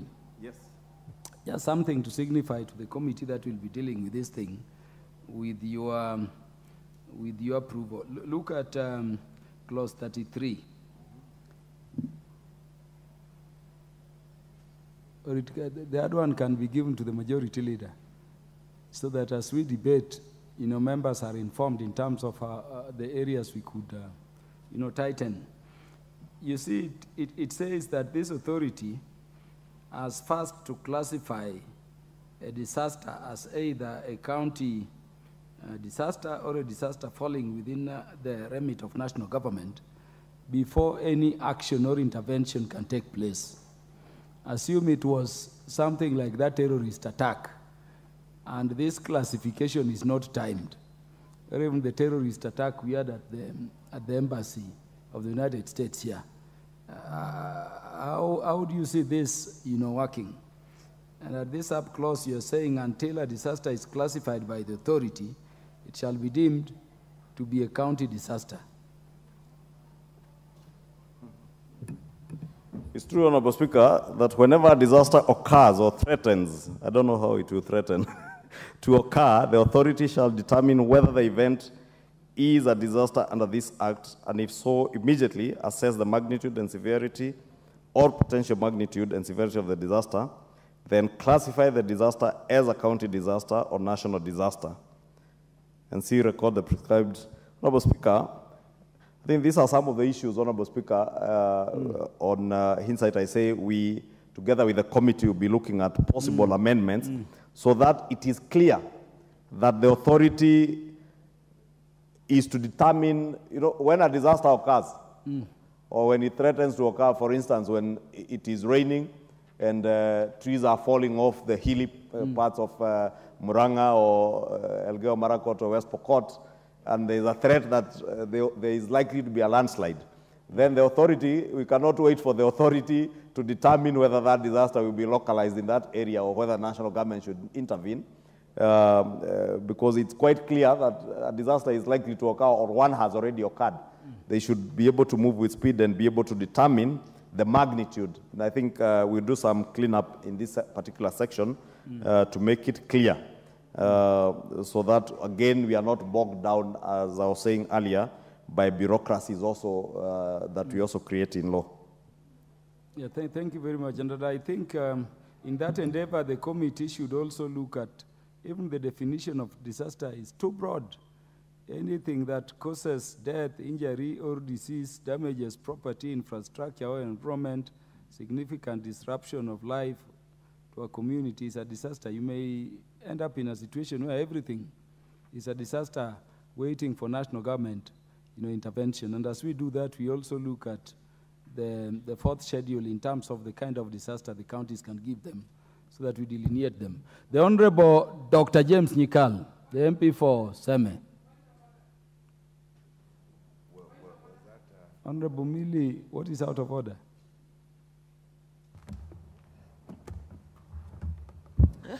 Thank you, Chair, for giving me that opportunity. Chair, I just wanted to inform the Chair, based on actually what you've said, that if you look at the definition of disaster, there is also the word localized, so that when the committee is considering that uh, amendment, they also must remove the issue of the word localized.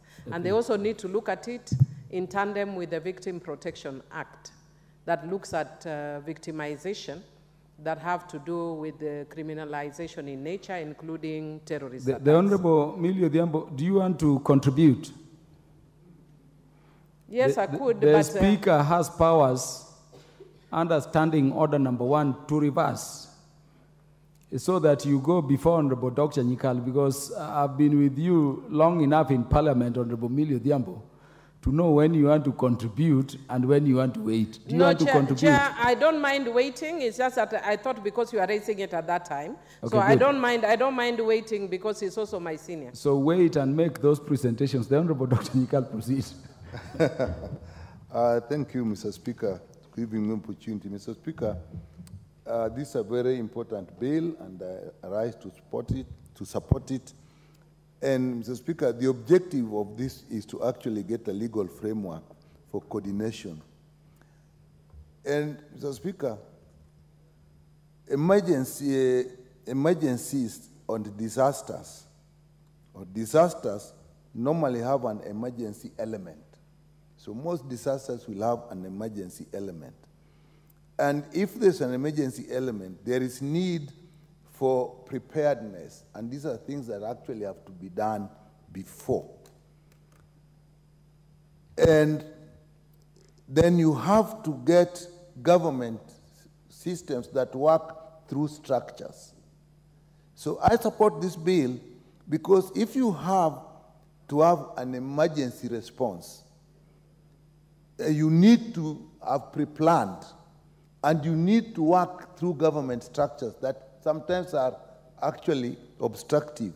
Then you need a legal framework for coordination. And when you talk of coordination, uh, Mr. Speaker, when you talk of disasters and emergencies, it is not often one department of government that is involved. It will actually involve many. It will involve security, it may involve the, uh, the, uh, the transport system, it will involve the health system, and all these will be various departments that are doing various things. But in a disaster, they have to come together to deliver. So I, I support that this bill uh, tries to address that. It is even more important for us that we are working in a devolved system, where apart from just having departments, you also have two levels of government, and therefore you have to say who is going to manage a disaster. And because of the emergency nature, there is sometimes no time for that decision to be done. Therefore, uh, getting structures is important. And that, Mr. Speaker, is why I actually support this. It gives us those structures. And if you're dealing with risk, then it's not only taking action, but actually looking at prevention. Every disaster, we must find out why it happened, is it likely to happen again, and put in place preventive measures. This bill actually talks of classification of risk, and I think you raised the issue of clause 33. But we should look at it more of classifying the risk than waiting to classify the disaster itself. Because by that time it is extremely late. And therefore, it, we are talking of risk management. So we must then classify the risk. If we have a history, and it also talks about information, we have an information, we have a risk. What we talk of Budalangi, we talk of Nyando. When the rains are coming, we know that these areas are likely to have that. And therefore, what risk do you put in place? And even what classification? And if you have a classification, Mr. Speaker, then you can use algorithms. You can't wait until it happens, then now say, okay, this one is there. You say, if this one happens, this one happens, this is what needs to be done. That is how you actually manage emergencies. You don't wait. You have algorithms, and with those algorithms, you also put up SOPs, uh, how you respond, yeah, so that you know with this, this is what you do, and this is what should be done. And then if you have structures, that also will tell you who should do it. And therefore, Mr. Speaker, I support the Intergovernmental Council of Disaster Risk Management. We must really look at the word risk more than just disaster. If we start thinking of what they will act when the disaster has occurred, we're missing the point. So it is the risk, the, the risk then is we, between the, the, the, the council, the, the, the intergovernmental. But Mr. Speaker, in our devolved system, we have had a problem. We have a body called the Intergovernmental Relations Technical Committee. You are a lawyer. But you know that we also created something called the, the, the Secretariat of the Council of Governors. Those two things, actually, one is illegal and the other one isn't working. So even if we form these intergovernmental uh, structures, we must be willing to actually get those structures to work. Otherwise, there'll be points of, of, of argument. We then create an authority, and what I like about this authority, when you have, when you have, uh, you have a risk, if you have assessed your risk, then you, it must come in pre-planning, and if you are going to have pre-planning, you must have a budget. The worst thing is when you wait until you have a disaster, and then now you are starting to look for funds. And the leader of majority was saying, sometimes the government is not prepared, and therefore philanthropists take advantage uh, to seek uh, a lot of credit for it. But the philanthropists are good, but the philanthropists should work within a structure that is laid out. In fact, when you have a disaster, you then have to need to control philanthropies because quite often they can actually derail the, the, the, the, the issues we have. In 2007, when we, we, we, we had uh, the IDPs, we had to go in and control the, the philanthropies that were coming within the structures that are put in place. If you work here, this is what you do. You come with your food, this is what you do. We come with your medicines, this is where you put it. Otherwise, they seem to take over. So I like the, the, the, the council that are put in place. I like the authority, but the authority I like because they're pre-planning and budgeting so that there's a framework. Even those who are giving you funds, sometimes it is better for them to just give you funds and work through a structure than actually to have one person coming with a load of uh, uh, food, the other coming with a load of medicine. Nobody has checked whether these medicines are registered in the country. Nobody knows whether the food is expired. And now people are just running around helter-skelter. So that those authorities will do that. Then we have the county disaster uh, risk management committees. Again, uh, if we can have all these structures, but if we don't have uh, the standard operating procedures which are within these committees and uh, risks that have been identified and set so that you do this and this, these committees will not work. So, uh, Mr. Speaker, I support uh, this bill and we look at it and look at areas where you really need to look at risk rather than wait for disasters to take place and then try to uh, uh, classify them and manage them. You should be prepared. Thank you, Mr. Speaker. The Honorable Martin Owino, MP from Ndhiwa. Honorable Millie indicated she's not in a hurry. and the Speaker, I heard so her very Millie, well. You'll, you'll speak after, after Honorable Martin Owino. I heard her very clearly. And uh, thank you, Mr. Speaker. Um, many has been uh, said about this bill, and I just want to add my voice to it. Uh, disaster management is a, is a process, really. It's a process That starts with prevention, which I want to emphasize, that we really need to think of preventing what occurs uh, so that we are not caught unawares. Especially the floods, the fires, some of these things are time bomb, and we know. Um, prevention should also, which I didn't see elaborated here, Speaker, we should have a very elaborated research system to know what kind of disasters we have in our country and when they strike. For example, in health realms, you, you may find uh, seasons and the flus, and that should be uh, well noted so that we prepare, we give uh, flu shots uh, before uh, it becomes epidemic. Also, there's an element of preparedness. When it strikes, then what do we do as a people or as a system we are trying to put in place? Preparedness is one way of uh, solving a problem. If you're not prepared, the way our counties are not, most uh, of the time you find that uh, CDF is called upon. Uh, school has burned down uh, or bridge has broken, but we can hardly cope with those. But if we have this structure where we have a national or federal government supporting the systems on the ground, then we can easily uh, manage disasters. Mr. Speaker, there's an element of response. When it happens, some, sometimes it needs rapid response. And sometimes um, what, you, what you just mentioned uh, caught me. When, uh, when, the, when the disaster is classified as county, and it is more than a county, then what do you do? That will uh, cause a delay. And when you delay in response, then uh, you have a, a, loss of lives and even more disabilities. So I, I think I do uh, support what Nyikal says. We, we rather classify risks more than classifying the disaster because there's no time for classification when disaster strikes anyway.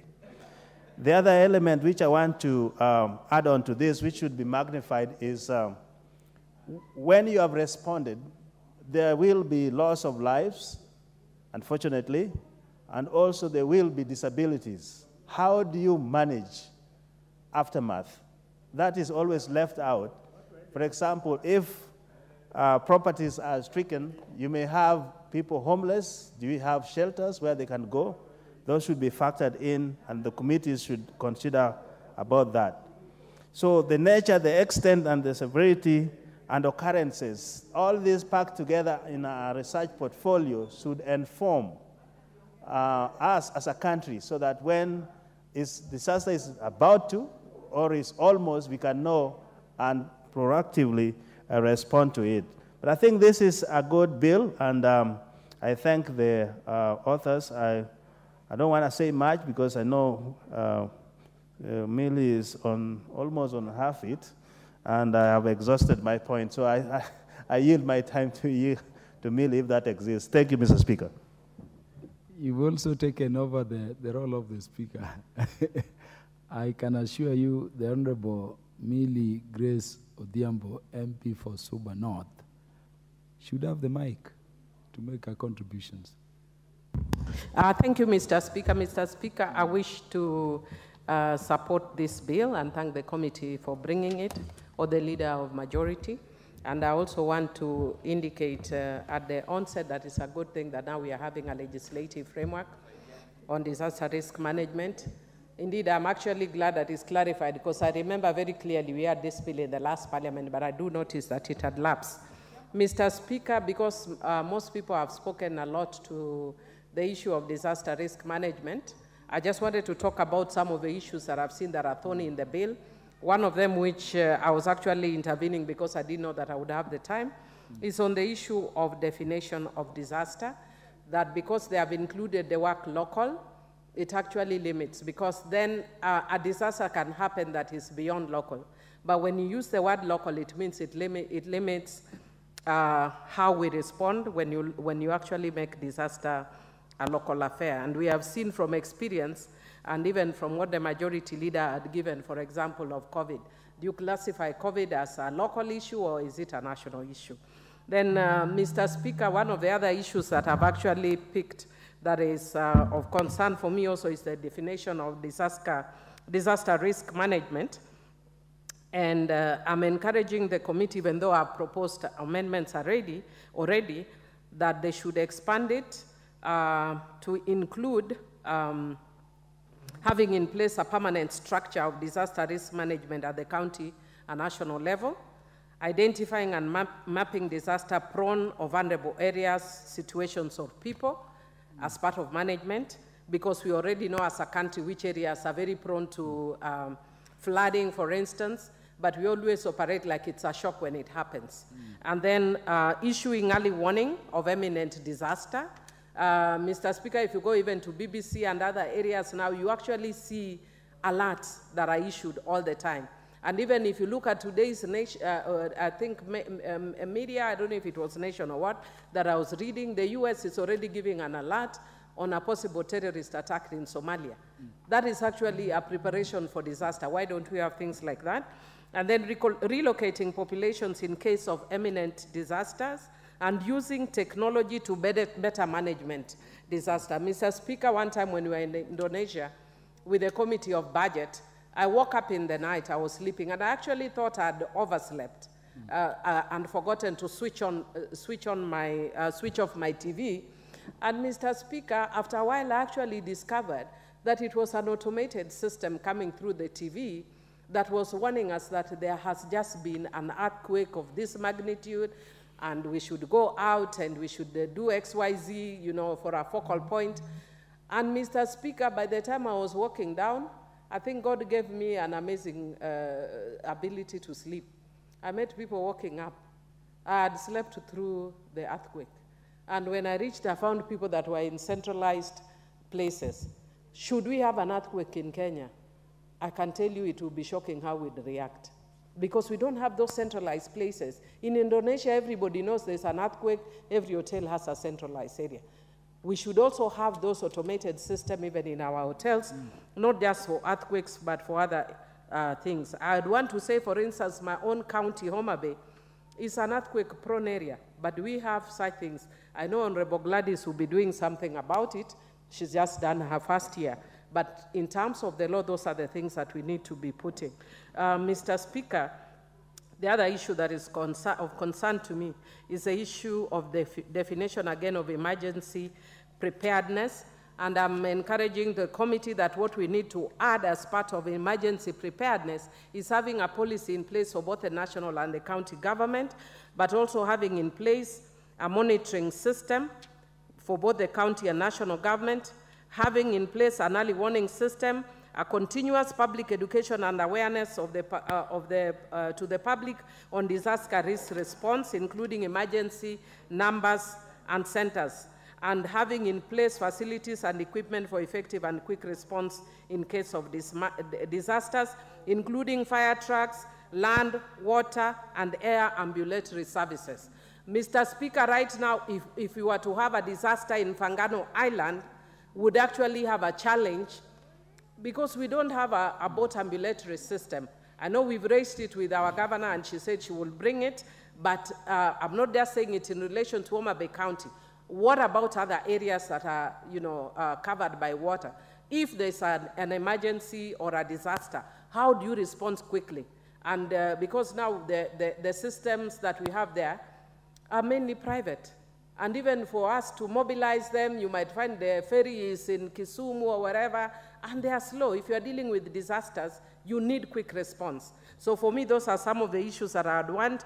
Again, in clause four, uh, one of the guiding principles should be protecting vulnerable groups, including women, children, persons with disabilities, and the elderly in cases of disasters.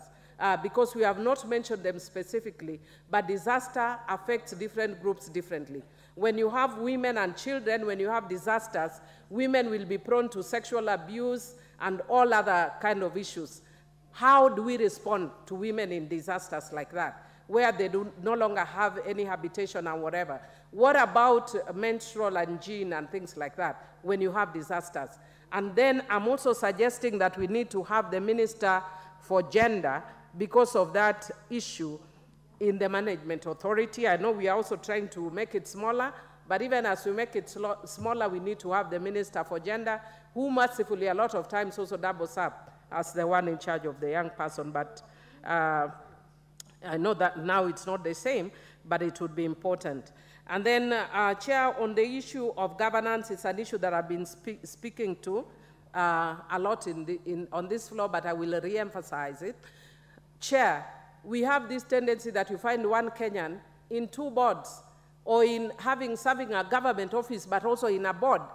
When there are many Kenyans who don't have anything, why don't they also serve in those boards? Or we have one person that have exceptional intellectual capacities. Those are things that we also must address. We must also, in terms of governance, one of the other issues that we must also look at is the way we phrase the powers that we give the chair of the board. And one of the powers that we need to give the board is not to dismiss somebody for absenting themselves, but without justification.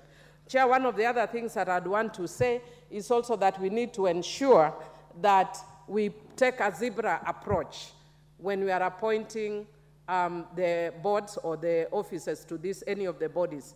And so that if you have a male chair, you should have a female vice and vice versa.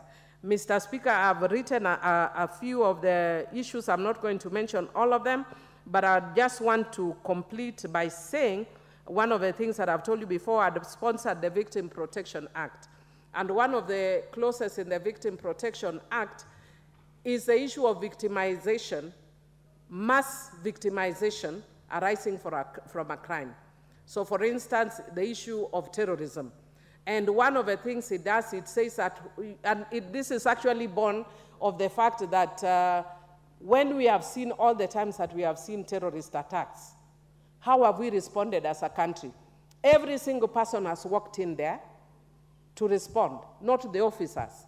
Secondly, in their response, we don't preserve um, the evidence. We don't also look at the victim.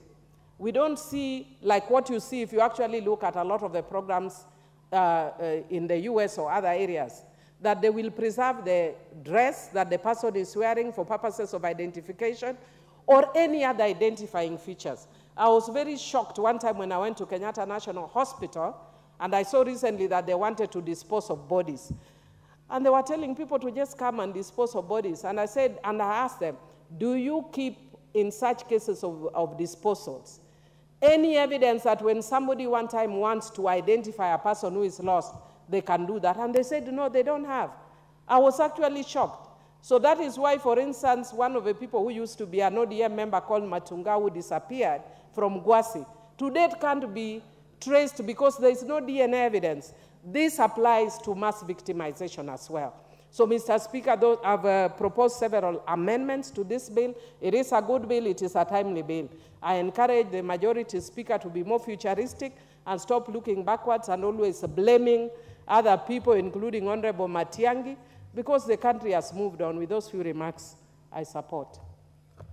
Thank you, Honorable Millie Odhiambo. Always very informative. The Honorable Dr. Suzanne Kiamba, the MP for Makueni.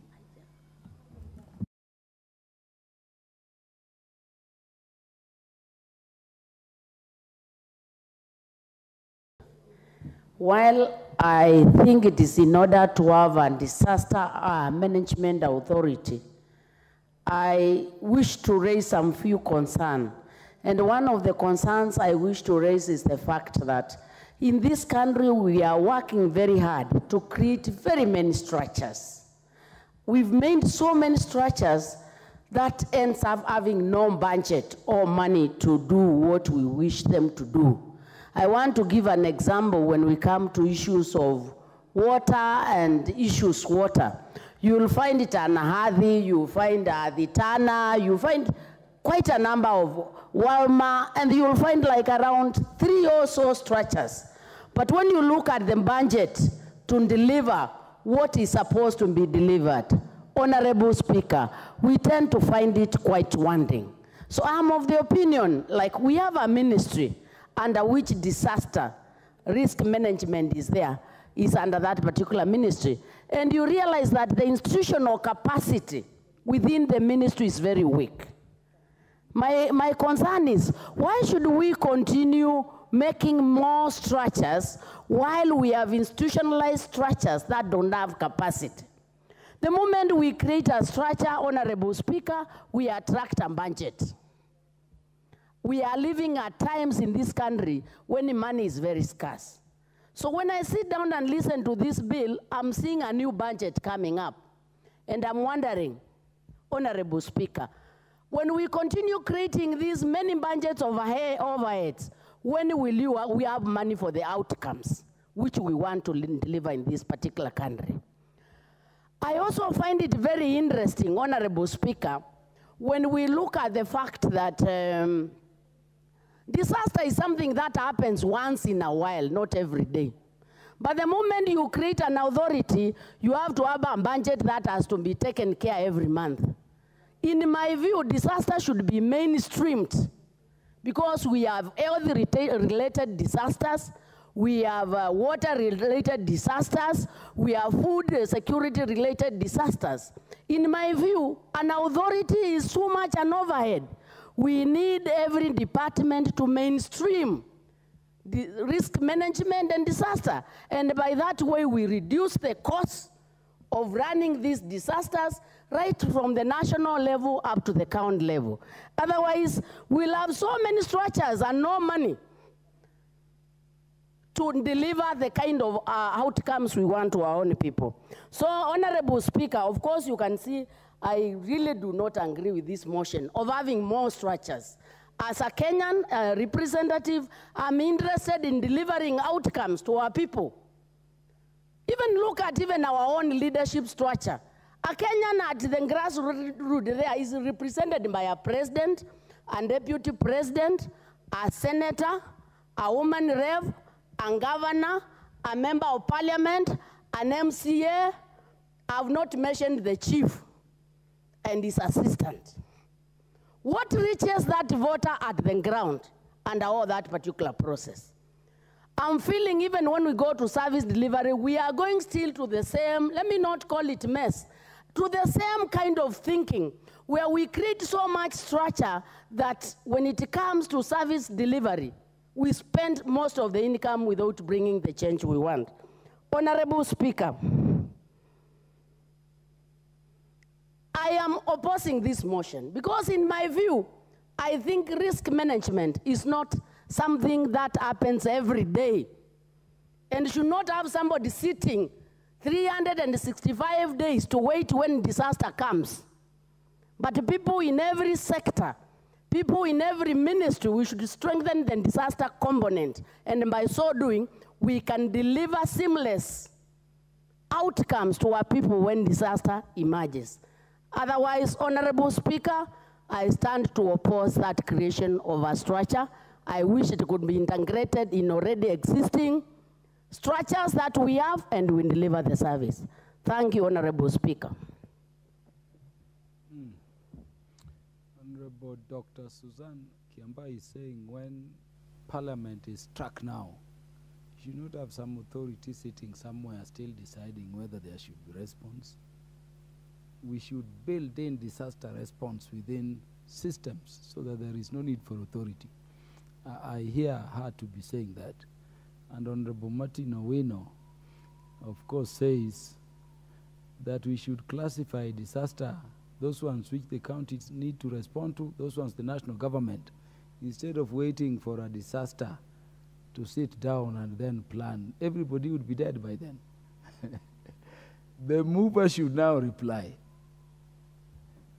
Honorable Dr. Oundo, I see you, but I, I, I remember I gave you opportunity to address the nation on this particular one. Yes, sir. So, so mover. Uh, thank you, uh, Honorable Speaker. Uh, I want to, on behalf of the Leader of Majority, uh, the Honorable Kimani Ichung'wah, the member for Kikuyu, I want to take uh, this opportunity to reply. Now, Honorable Speaker, uh, first of all, I want to thank all the honorable members who got an opportunity to contribute. And uh, I want to, Honorable Speaker, say that uh, we have taken uh, their concerns, we have taken their contributions, and we are going to critically uh, look at them and see how we are going to incorporate uh, what honorable members have raised uh, while debating this uh, bill in the next stage. So, Honorable Speaker, I also want to take this opportunity to thank the members of the Regional Development Committee for doing a good job.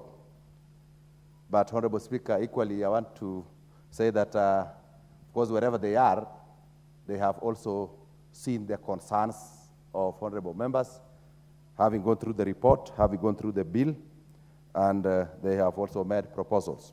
Honorable Speaker, uh, I think uh, I have seen members talk about the definition, definitions that we need to recheck. I've also heard that uh, from you, the Honorable Speaker, we have to look at clause 33 and many other proposals that members have given. As a committee, we also proposed amendments to this bill, which of course we're going to bring in the third, uh, in the next stage of this bill. So, Honorable Speaker, together with what uh, Honorable members have proposed, we are going to uh, look at it again, and then uh, come back here and we agree as a House on uh, how we are going to move forward. However, Honorable Speaker, you have seen that the majority of members have supported this bill. And uh, from their contributions, this bill would not have come at a better time than now. So I want to sincerely commend them and thank them for their support. And uh, of course, whatever they have again uh, raised as a way of uh, we need to relook at, I think is welcomed. Now, Honorable Speaker, uh, disasters have been managed from various quarters in this country. Like, for example, when we had a landslide in the West Pokot the other time, it struck, it, that was my constituency, Sigor, part of Pokot South, and some other regions of this country. Responding was by the Kenya Defense Forces, mainly. And uh, in certain instances, it was even very difficult for agencies and even well-wishers to access the areas that had landslides. So it was really very, very difficult. And uh, I think now, by coming out with this bill, which, uh, Honorable Speaker, now seems to uh, provide a legal framework uh, so that uh, we have coordination of disaster risk management. Because as it is now, it is done through the KDF. There is an, a disaster operations center at the Ministry of Interior. We have uh, agencies like the, the, the, the, Red Cross and others. So it is important that uh, we have, uh, we have a framework, a legal framework, so that all these actors involved in disaster risk management and uh, disaster risk management co being, get coordinated and even take stock of even the actors in disaster risk management.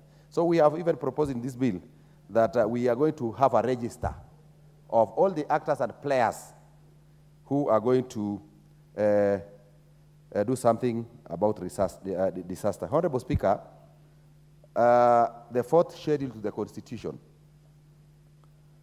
provides that disaster management is a shared function between the two levels of government in this country. That is the national government and the county government.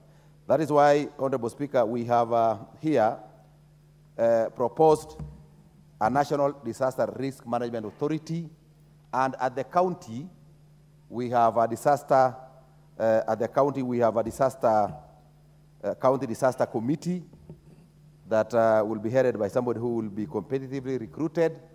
And in that way, I, I think uh, we are going to have a situation where the two levels of government coordinate and work together to address cases of disaster. Uh, Honorable Speaker, you know, uh, the people in the counties are Kenyans. So we don't have people of the national government and people of county government. So whenever a disaster occurs, it affects Kenyans. And uh, if this bill is going to help in terms of reaction time between the time a disaster occurs and the time uh, the time it is being addressed, then I think this is good. Now, Honorable Speaker, uh, I know that uh, the various issues that have been put forward will be taken into, in, into consideration. Now, Honorable Speaker, when this bill will be enacted into law, uh, the enactment of this bill, Honorable Speaker, will lead to efficient and effective management of disasters across the country. Uh, during contribution here, that uh, it may be too bureaucratic between the time a disaster occurs and the time it is being classified. But I want to say that probably that time, the reaction time between when a disaster occurs and when uh, it is being addressed, it can be a very short time because we have also classified disasters into a county disaster and maybe a, national disaster. Where a disaster affects uh, more than one county, we can call it a national disaster. And when it is affecting one county, then it can be a county disaster. But in instances where, even when it is affecting one county and the county is unable to manage it, then again, uh, we call it uh, a national disaster. So, Honorable Speaker, we have also said that uh, the, the, the, the president can declare a state of disaster. So, and I think uh, when the president also comes in, and when the magnitude of a disaster uh, gets to certain levels, then the president can declare a state of national disaster. So I want to uh, say, Honorable Speaker, with all the inputs by honorable members and uh, what we have also proposed as a committee for amendments, I think this bill will go a long way to ensuring that uh, whenever disasters strike, or whenever we have instances or uh, cases of disaster, then I think there is a coordinated way of responding to disasters in this country and probably even in a timely manner. So, Honorable Speaker, with those few remarks, I sincerely thank honorable members who contributed and I therefore beg to reply. Thank you, Honorable Speaker. Thank you very much. Mover, for the convenience of the House, the question on second reading of this bill will be put the next time it will be scheduled for consideration by the House Business Committee. The Honorable, next order. Order number 13, motion, reports of the Auditor General on the National Government Constituencies Development Fund for five constituencies in Vihiga County. Mover.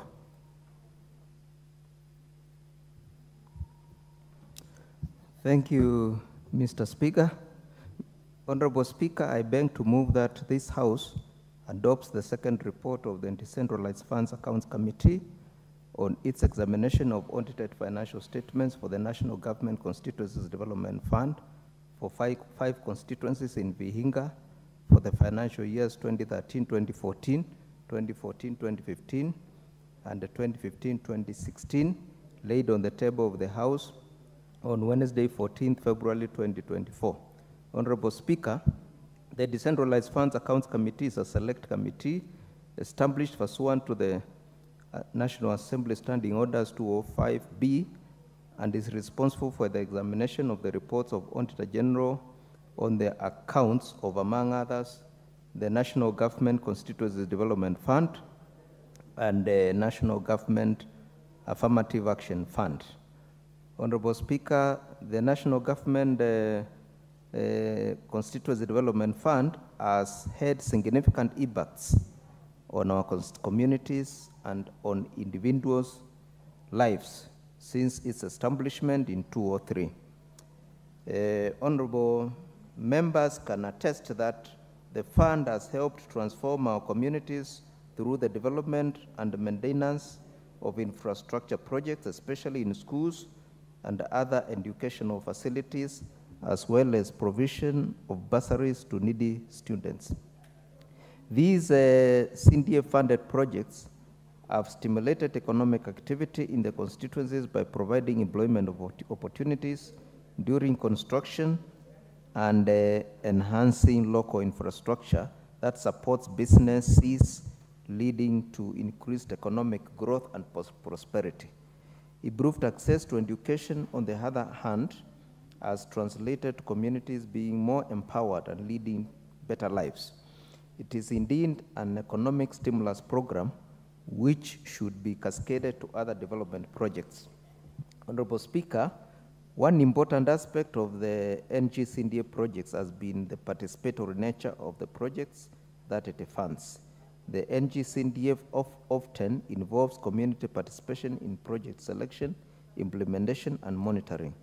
This has empowered communities to take charge of their development priorities and foster a sense of ownership over the projects, leading to sustainable development outcomes unlike other development projects. Honorable Speaker, oversight over national revenue and expenditure is amongst the roles of the National Assembly as stipulated under Section 95.4c of the Constitution of Kenya 2010. Further, Article 226 of the Constitution provides that an Act of Parliament shall provide for the designation of an accounting officer in every public entity at the national level who is accountable to the National Assembly for its financial management. In addition, Article 229.8 mandates this House to debate and take appropriate action on audit reports from the Auditor General. Further, Section 68.1 of the Public Finance Management Act 2012 provides in the earlier that an accounting officer of the national government entity, Parliamentary Service Commission, and the judiciary shall be accountable to the National Assembly to ensure that the resources of the respective entity for which he or she is accountable, accounting officer, are used in a way that is lawful and authorized and effective, efficient, economical, and transparent. In addition, Section 12.3 of the National Government Constitu Constituencies Development Fund Act, number 30 of 2015, provides that the fund account manager shall hold the authority to incur expenditure of the funds at the constituency. The fund account managers were therefore invited to respond to concerns raised by the committee in their capacity as AIE orders. Honorable Speaker, it is in line with these constitutional and legal provisions that the committee invited the fund account managers, both current and former, as accounting officers of the NGCNDF to respond to audit queries raised by the Auditor General during their tenure. The committee also invited the board of uh, NGCNDF to respond to policy issues which were also subjected to audit queries. Information received formed the basis of, uh, for the various recommendations outlined in this report, which are geared towards effective management of the fund. Honorable Speaker, the committee, while examining the audited accounts for Vihiga, Sabatia, Hamisi, Emuhaya, and the Luanda constituencies in Vihiga County, the committee observed that in the financial year 2013-2014, all the constituencies examined had audit issues raised following the High Court of Kenya ruling on petition number 71 of 2013, which held that Constituency Development Fund 2013, establishing the Constituency Development Fund since its enactment, since an enactment of the Constitution of Kenya 2010 was unconstitutional. The committee further observed that the issue was overtaken by events as it was addressed, addressed through the passing of the NGCNDF Act 2015 and its regulations 2016, which aligned the fund, fund functions to national government functions. The functions were further aligned by the, the enactment of the NGC, NGCNDF Act 2023, recently passed by, the, by this Honorable House. Honorable Speaker, the committee also observed uh, in all the constituencies, the Auditor General had raised issues on under expenditure or non-implementation of, of projects due to late receipt of funds in the constituencies. The committee observed that this was beyond uh, the capacity of the fund account managers and um, recommended that the National Treasury should ensure timely and adequate disbursement of funds to the national government constituencies and development fund board for immediate release to the constituencies. Honorable Speaker, the committee also observed that in all the constituencies examined, Documents were filed uh, late for verification during the audit period and recommended that the accounting officers should, should ensure that uh, fund account managers comply with the provisions of uh, section 621B and C of the Public Audit Act, number 34 of 2015, which provides that a person shall not, without justification, fail to provide information required under this act, and without justification, fail to provide information within reasonable time that is required under this act.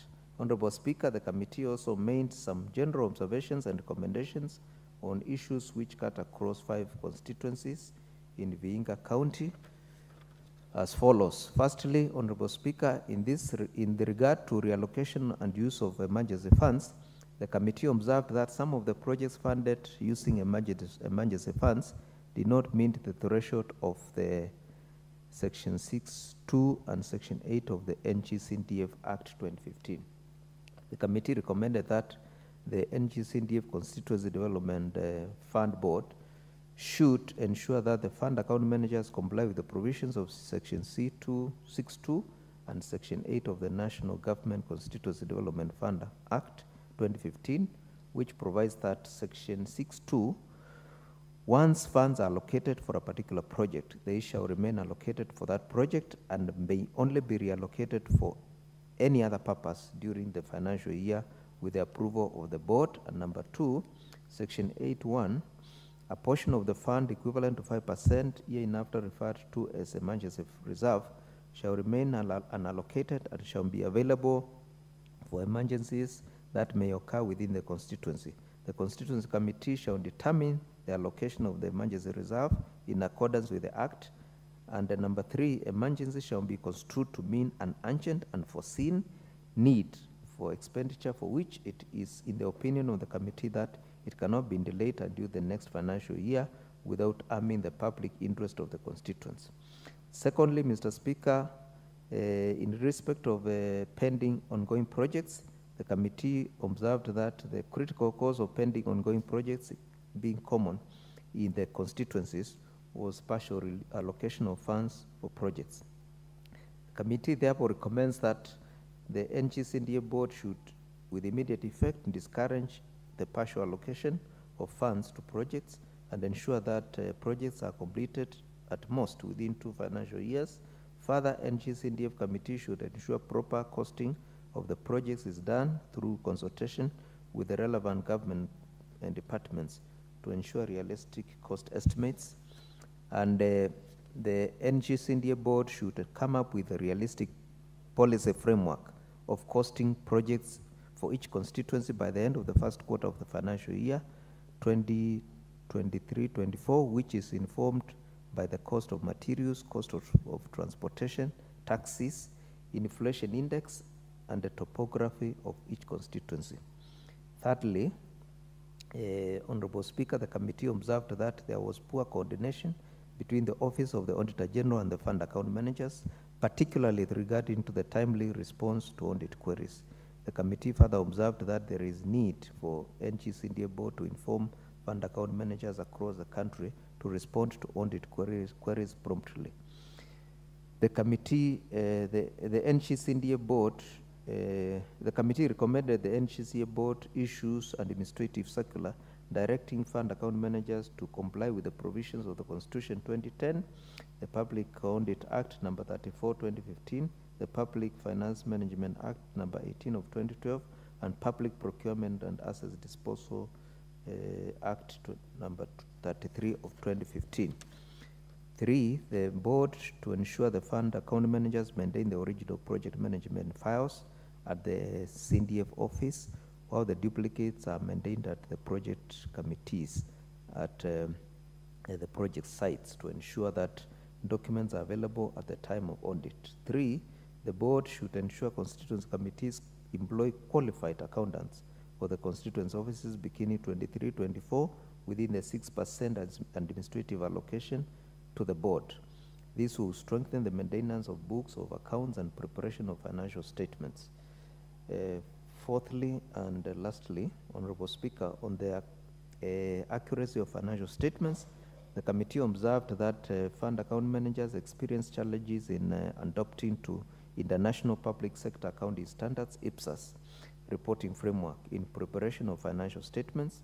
The standards were introduced in 2013-14 financial year in the public sector, and the failure to comply with the standards in subsequent years occasioned qualification of financial statements.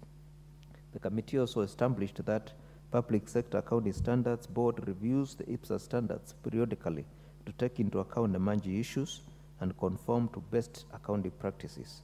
Some fund account managers experience challenges in application of these standards while preparing financial statements as envisaged in the audit queries.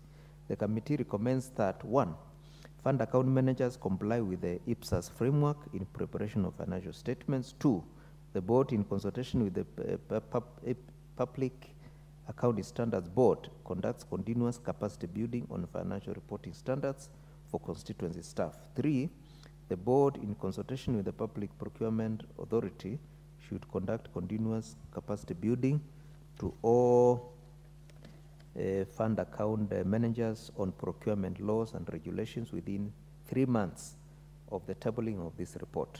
Honorable Speaker, as I conclude, allow me to mention that uh, while examining these reports, the committee did not find anything adverse or alarming, and observations and recommendations of the committee show there is nothing to worry about in uh, the implementation of CDF projects.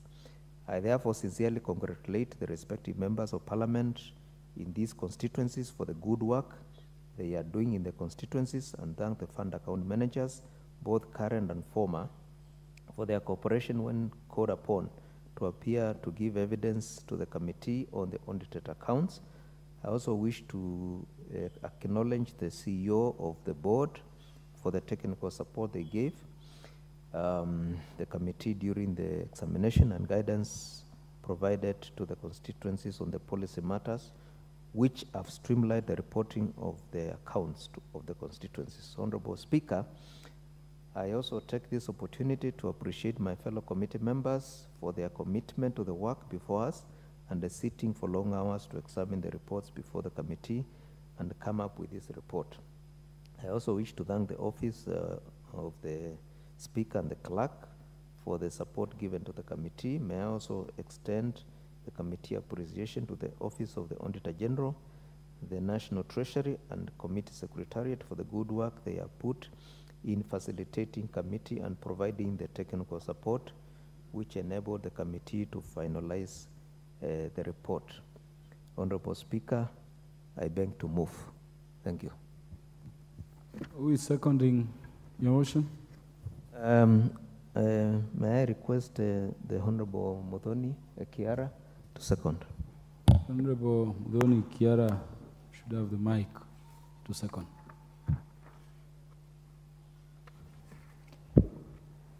Thank you, Honorable Speaker. Honorable Speaker, I beg to second the motion that this House adopts the second report of the Decentralized Funds Account Committee on its examination of the audited financial statement for the National Government Constituency Development Fund for the five constituencies in Vihiga County. Honorable Speaker, I do wish to appreciate that the National Government Constituency Development Fund is one of the funds that is felt on the ground, Honorable Speaker. Honorable Speaker, the issues that uh, are normally raised when we call or when we go for audit, Honorable Speaker, it's important to know that they cut across all the constituencies. And during the examination of these financial statements, Honorable Speaker, we do realize that in all the constituencies, the issues that we, we, we come across normally are the same. And Honorable Speaker, we have taken time in more, more often than not to scrutinize all the reports that are brought by the account, or fund account managers. But Honorable Speaker, the committee's general observation, as cited by the mover, therefore, is these constituencies in Vihiga, for instance, on the issue of unimplemented projects, the committee observed that there was delay in implementing the, the delay, massive delay in implementation of the projects, and uh, the reason given is treasury. Honorable Speaker, because of delay in disbursement of the same projects, of the same monies. Honorable Speaker, the committee recommended that the National Treasury should ensure timely and adequate disbursement of funds to the National Government Constituency Development Fund Board for immediate release to the constituencies to avert these massive delays. Honorable Speaker, I also wish to reiterate that the committee's observation on poor coordination between the Office of the Auditor General and the fund account managers, particularly regarding the timely response to audit queries and the need for the National Government Constituency Development Board to inform the fund account managers across the county to respond to audited queries promptly. Honorable Speaker, the committee recommends, amongst others, that the National Government Constituency Development Board should ensure constituency committees employ qualified accountants for the constituency office. And Honorable Speaker, uh, we also observed that these uh, account fund managers, sometimes proper induction is not done because, Honorable Speaker, you find they don't know even what to bring during audit. And this makes the committee keeps, the committee keeps calling them again and again. To repeat this, Honorable Speaker, we want to urge the National Government Constituency Fund Board to ensure that they do proper induction to all the fund managers to avert uh, wastage of public resources, calling the committee and wastage of time for the committee members because we normally sit long hours, Honorable Speaker, so that we can be able to come out with very credible report. Honorable Speaker, I wish to join my chairman in saying that in all the constituencies, money has been used prudently. And Honorable Speaker, it is important for all of us to laud the members of parliament because their work is oversight.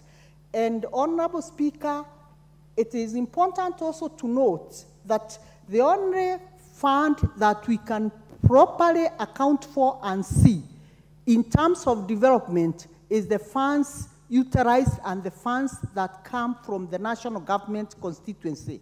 So, Honorable Speaker, I'm saying this because the counties are also in place, but whenever we go, the buildings that we see, Honorable Speaker, we can see clearly they are national government constituency development fund projects that have been properly uh, utilized and some are in proper use, Honorable Speaker, except for the few issues that we have raised where there is massive delay in disbursement of the National Government Constituency Development Fund. And on that note, Honorable Speaker, as a committee, I wish to urge uh, the NGCDF board, uh, chaired by uh, the honorable members in this house, so that they urge Treasury to release these funds well on time so that we don't have massive delays of projects.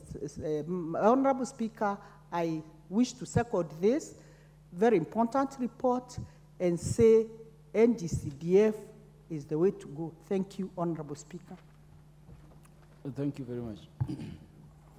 Honorable members, I now propose the question this House adopts the report of the Decentralized Funds Accounts Committee on its consideration of the financial statements for the National Government Constituencies Development Fund for five constituencies in Vihiga County for the financial years 2013-2014, 2014-2015, and 2015, 2016, laid on the table of the House on Wednesday, 14th February 2024.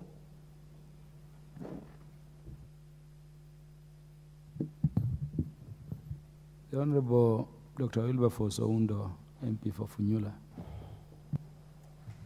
Thank you, Honorable Speaker. Uh, and Honorable Speaker, allow me to, to, to commend the Committee of Decentralized Funds for the wonderful job they have been doing. And Honorable Speaker, allow me as well to sympathize with them. And uh, I hope they listen so they can receive my sincere sympathy because trying to audit books of account of 2014, 2015, and those kind of dates, Honorable Speaker, is a Herculean task, and they must have wis- Sol- Solomonic wisdom to they unraveled this matter. Honorable Speaker, and it's also eh, interesting and really commendable because naturally the standard practice that after seven years, accounting documents are destroyed or they're declared redundant. How they have managed to review the financial books of account for 2013, and indeed I must commend an architect can always redraw, even I destroyed the house, and the chair is an architect I know, and having been a PS, probably has learned the art of exorcising all the, old ghosts. Honorable Speaker, I must also admit that quite a number of fund managers who attended this uh, meeting to discuss the audited accounts, quite many of them had not even joined the board when these funds were being expended.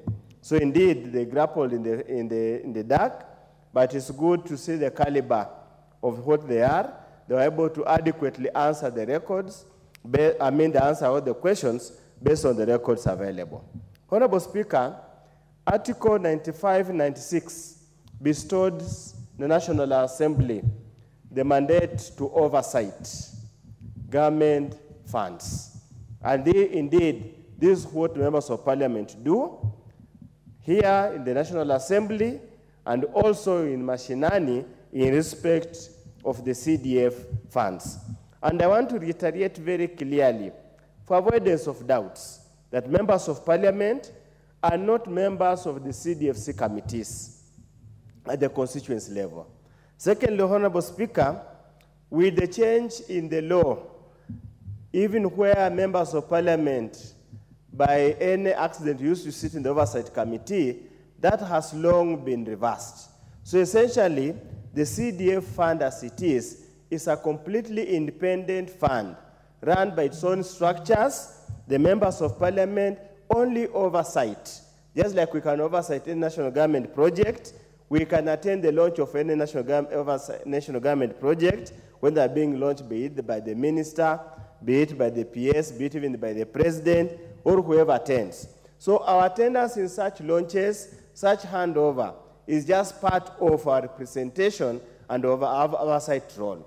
Honorable Speaker, when we seek to find out what has been done, we are simply oversighting. We are not involved directly in the management of the funds. When the reports are brought here, Honorable Speaker, we indeed also have just oversight, like everybody else can do anywhere.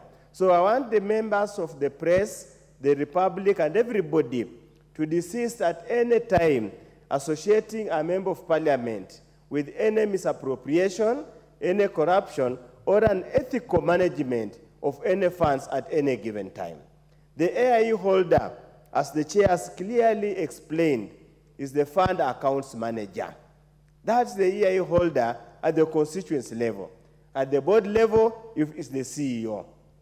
So if there is any issue, indeed the people to answer those questions are the AIE holders who are the fund managers. But fund managers also work within the local context. So it's always important. The Office of Auditor General and all those who are involved in any form of oversight or auditing must put in mind that this is a local environment.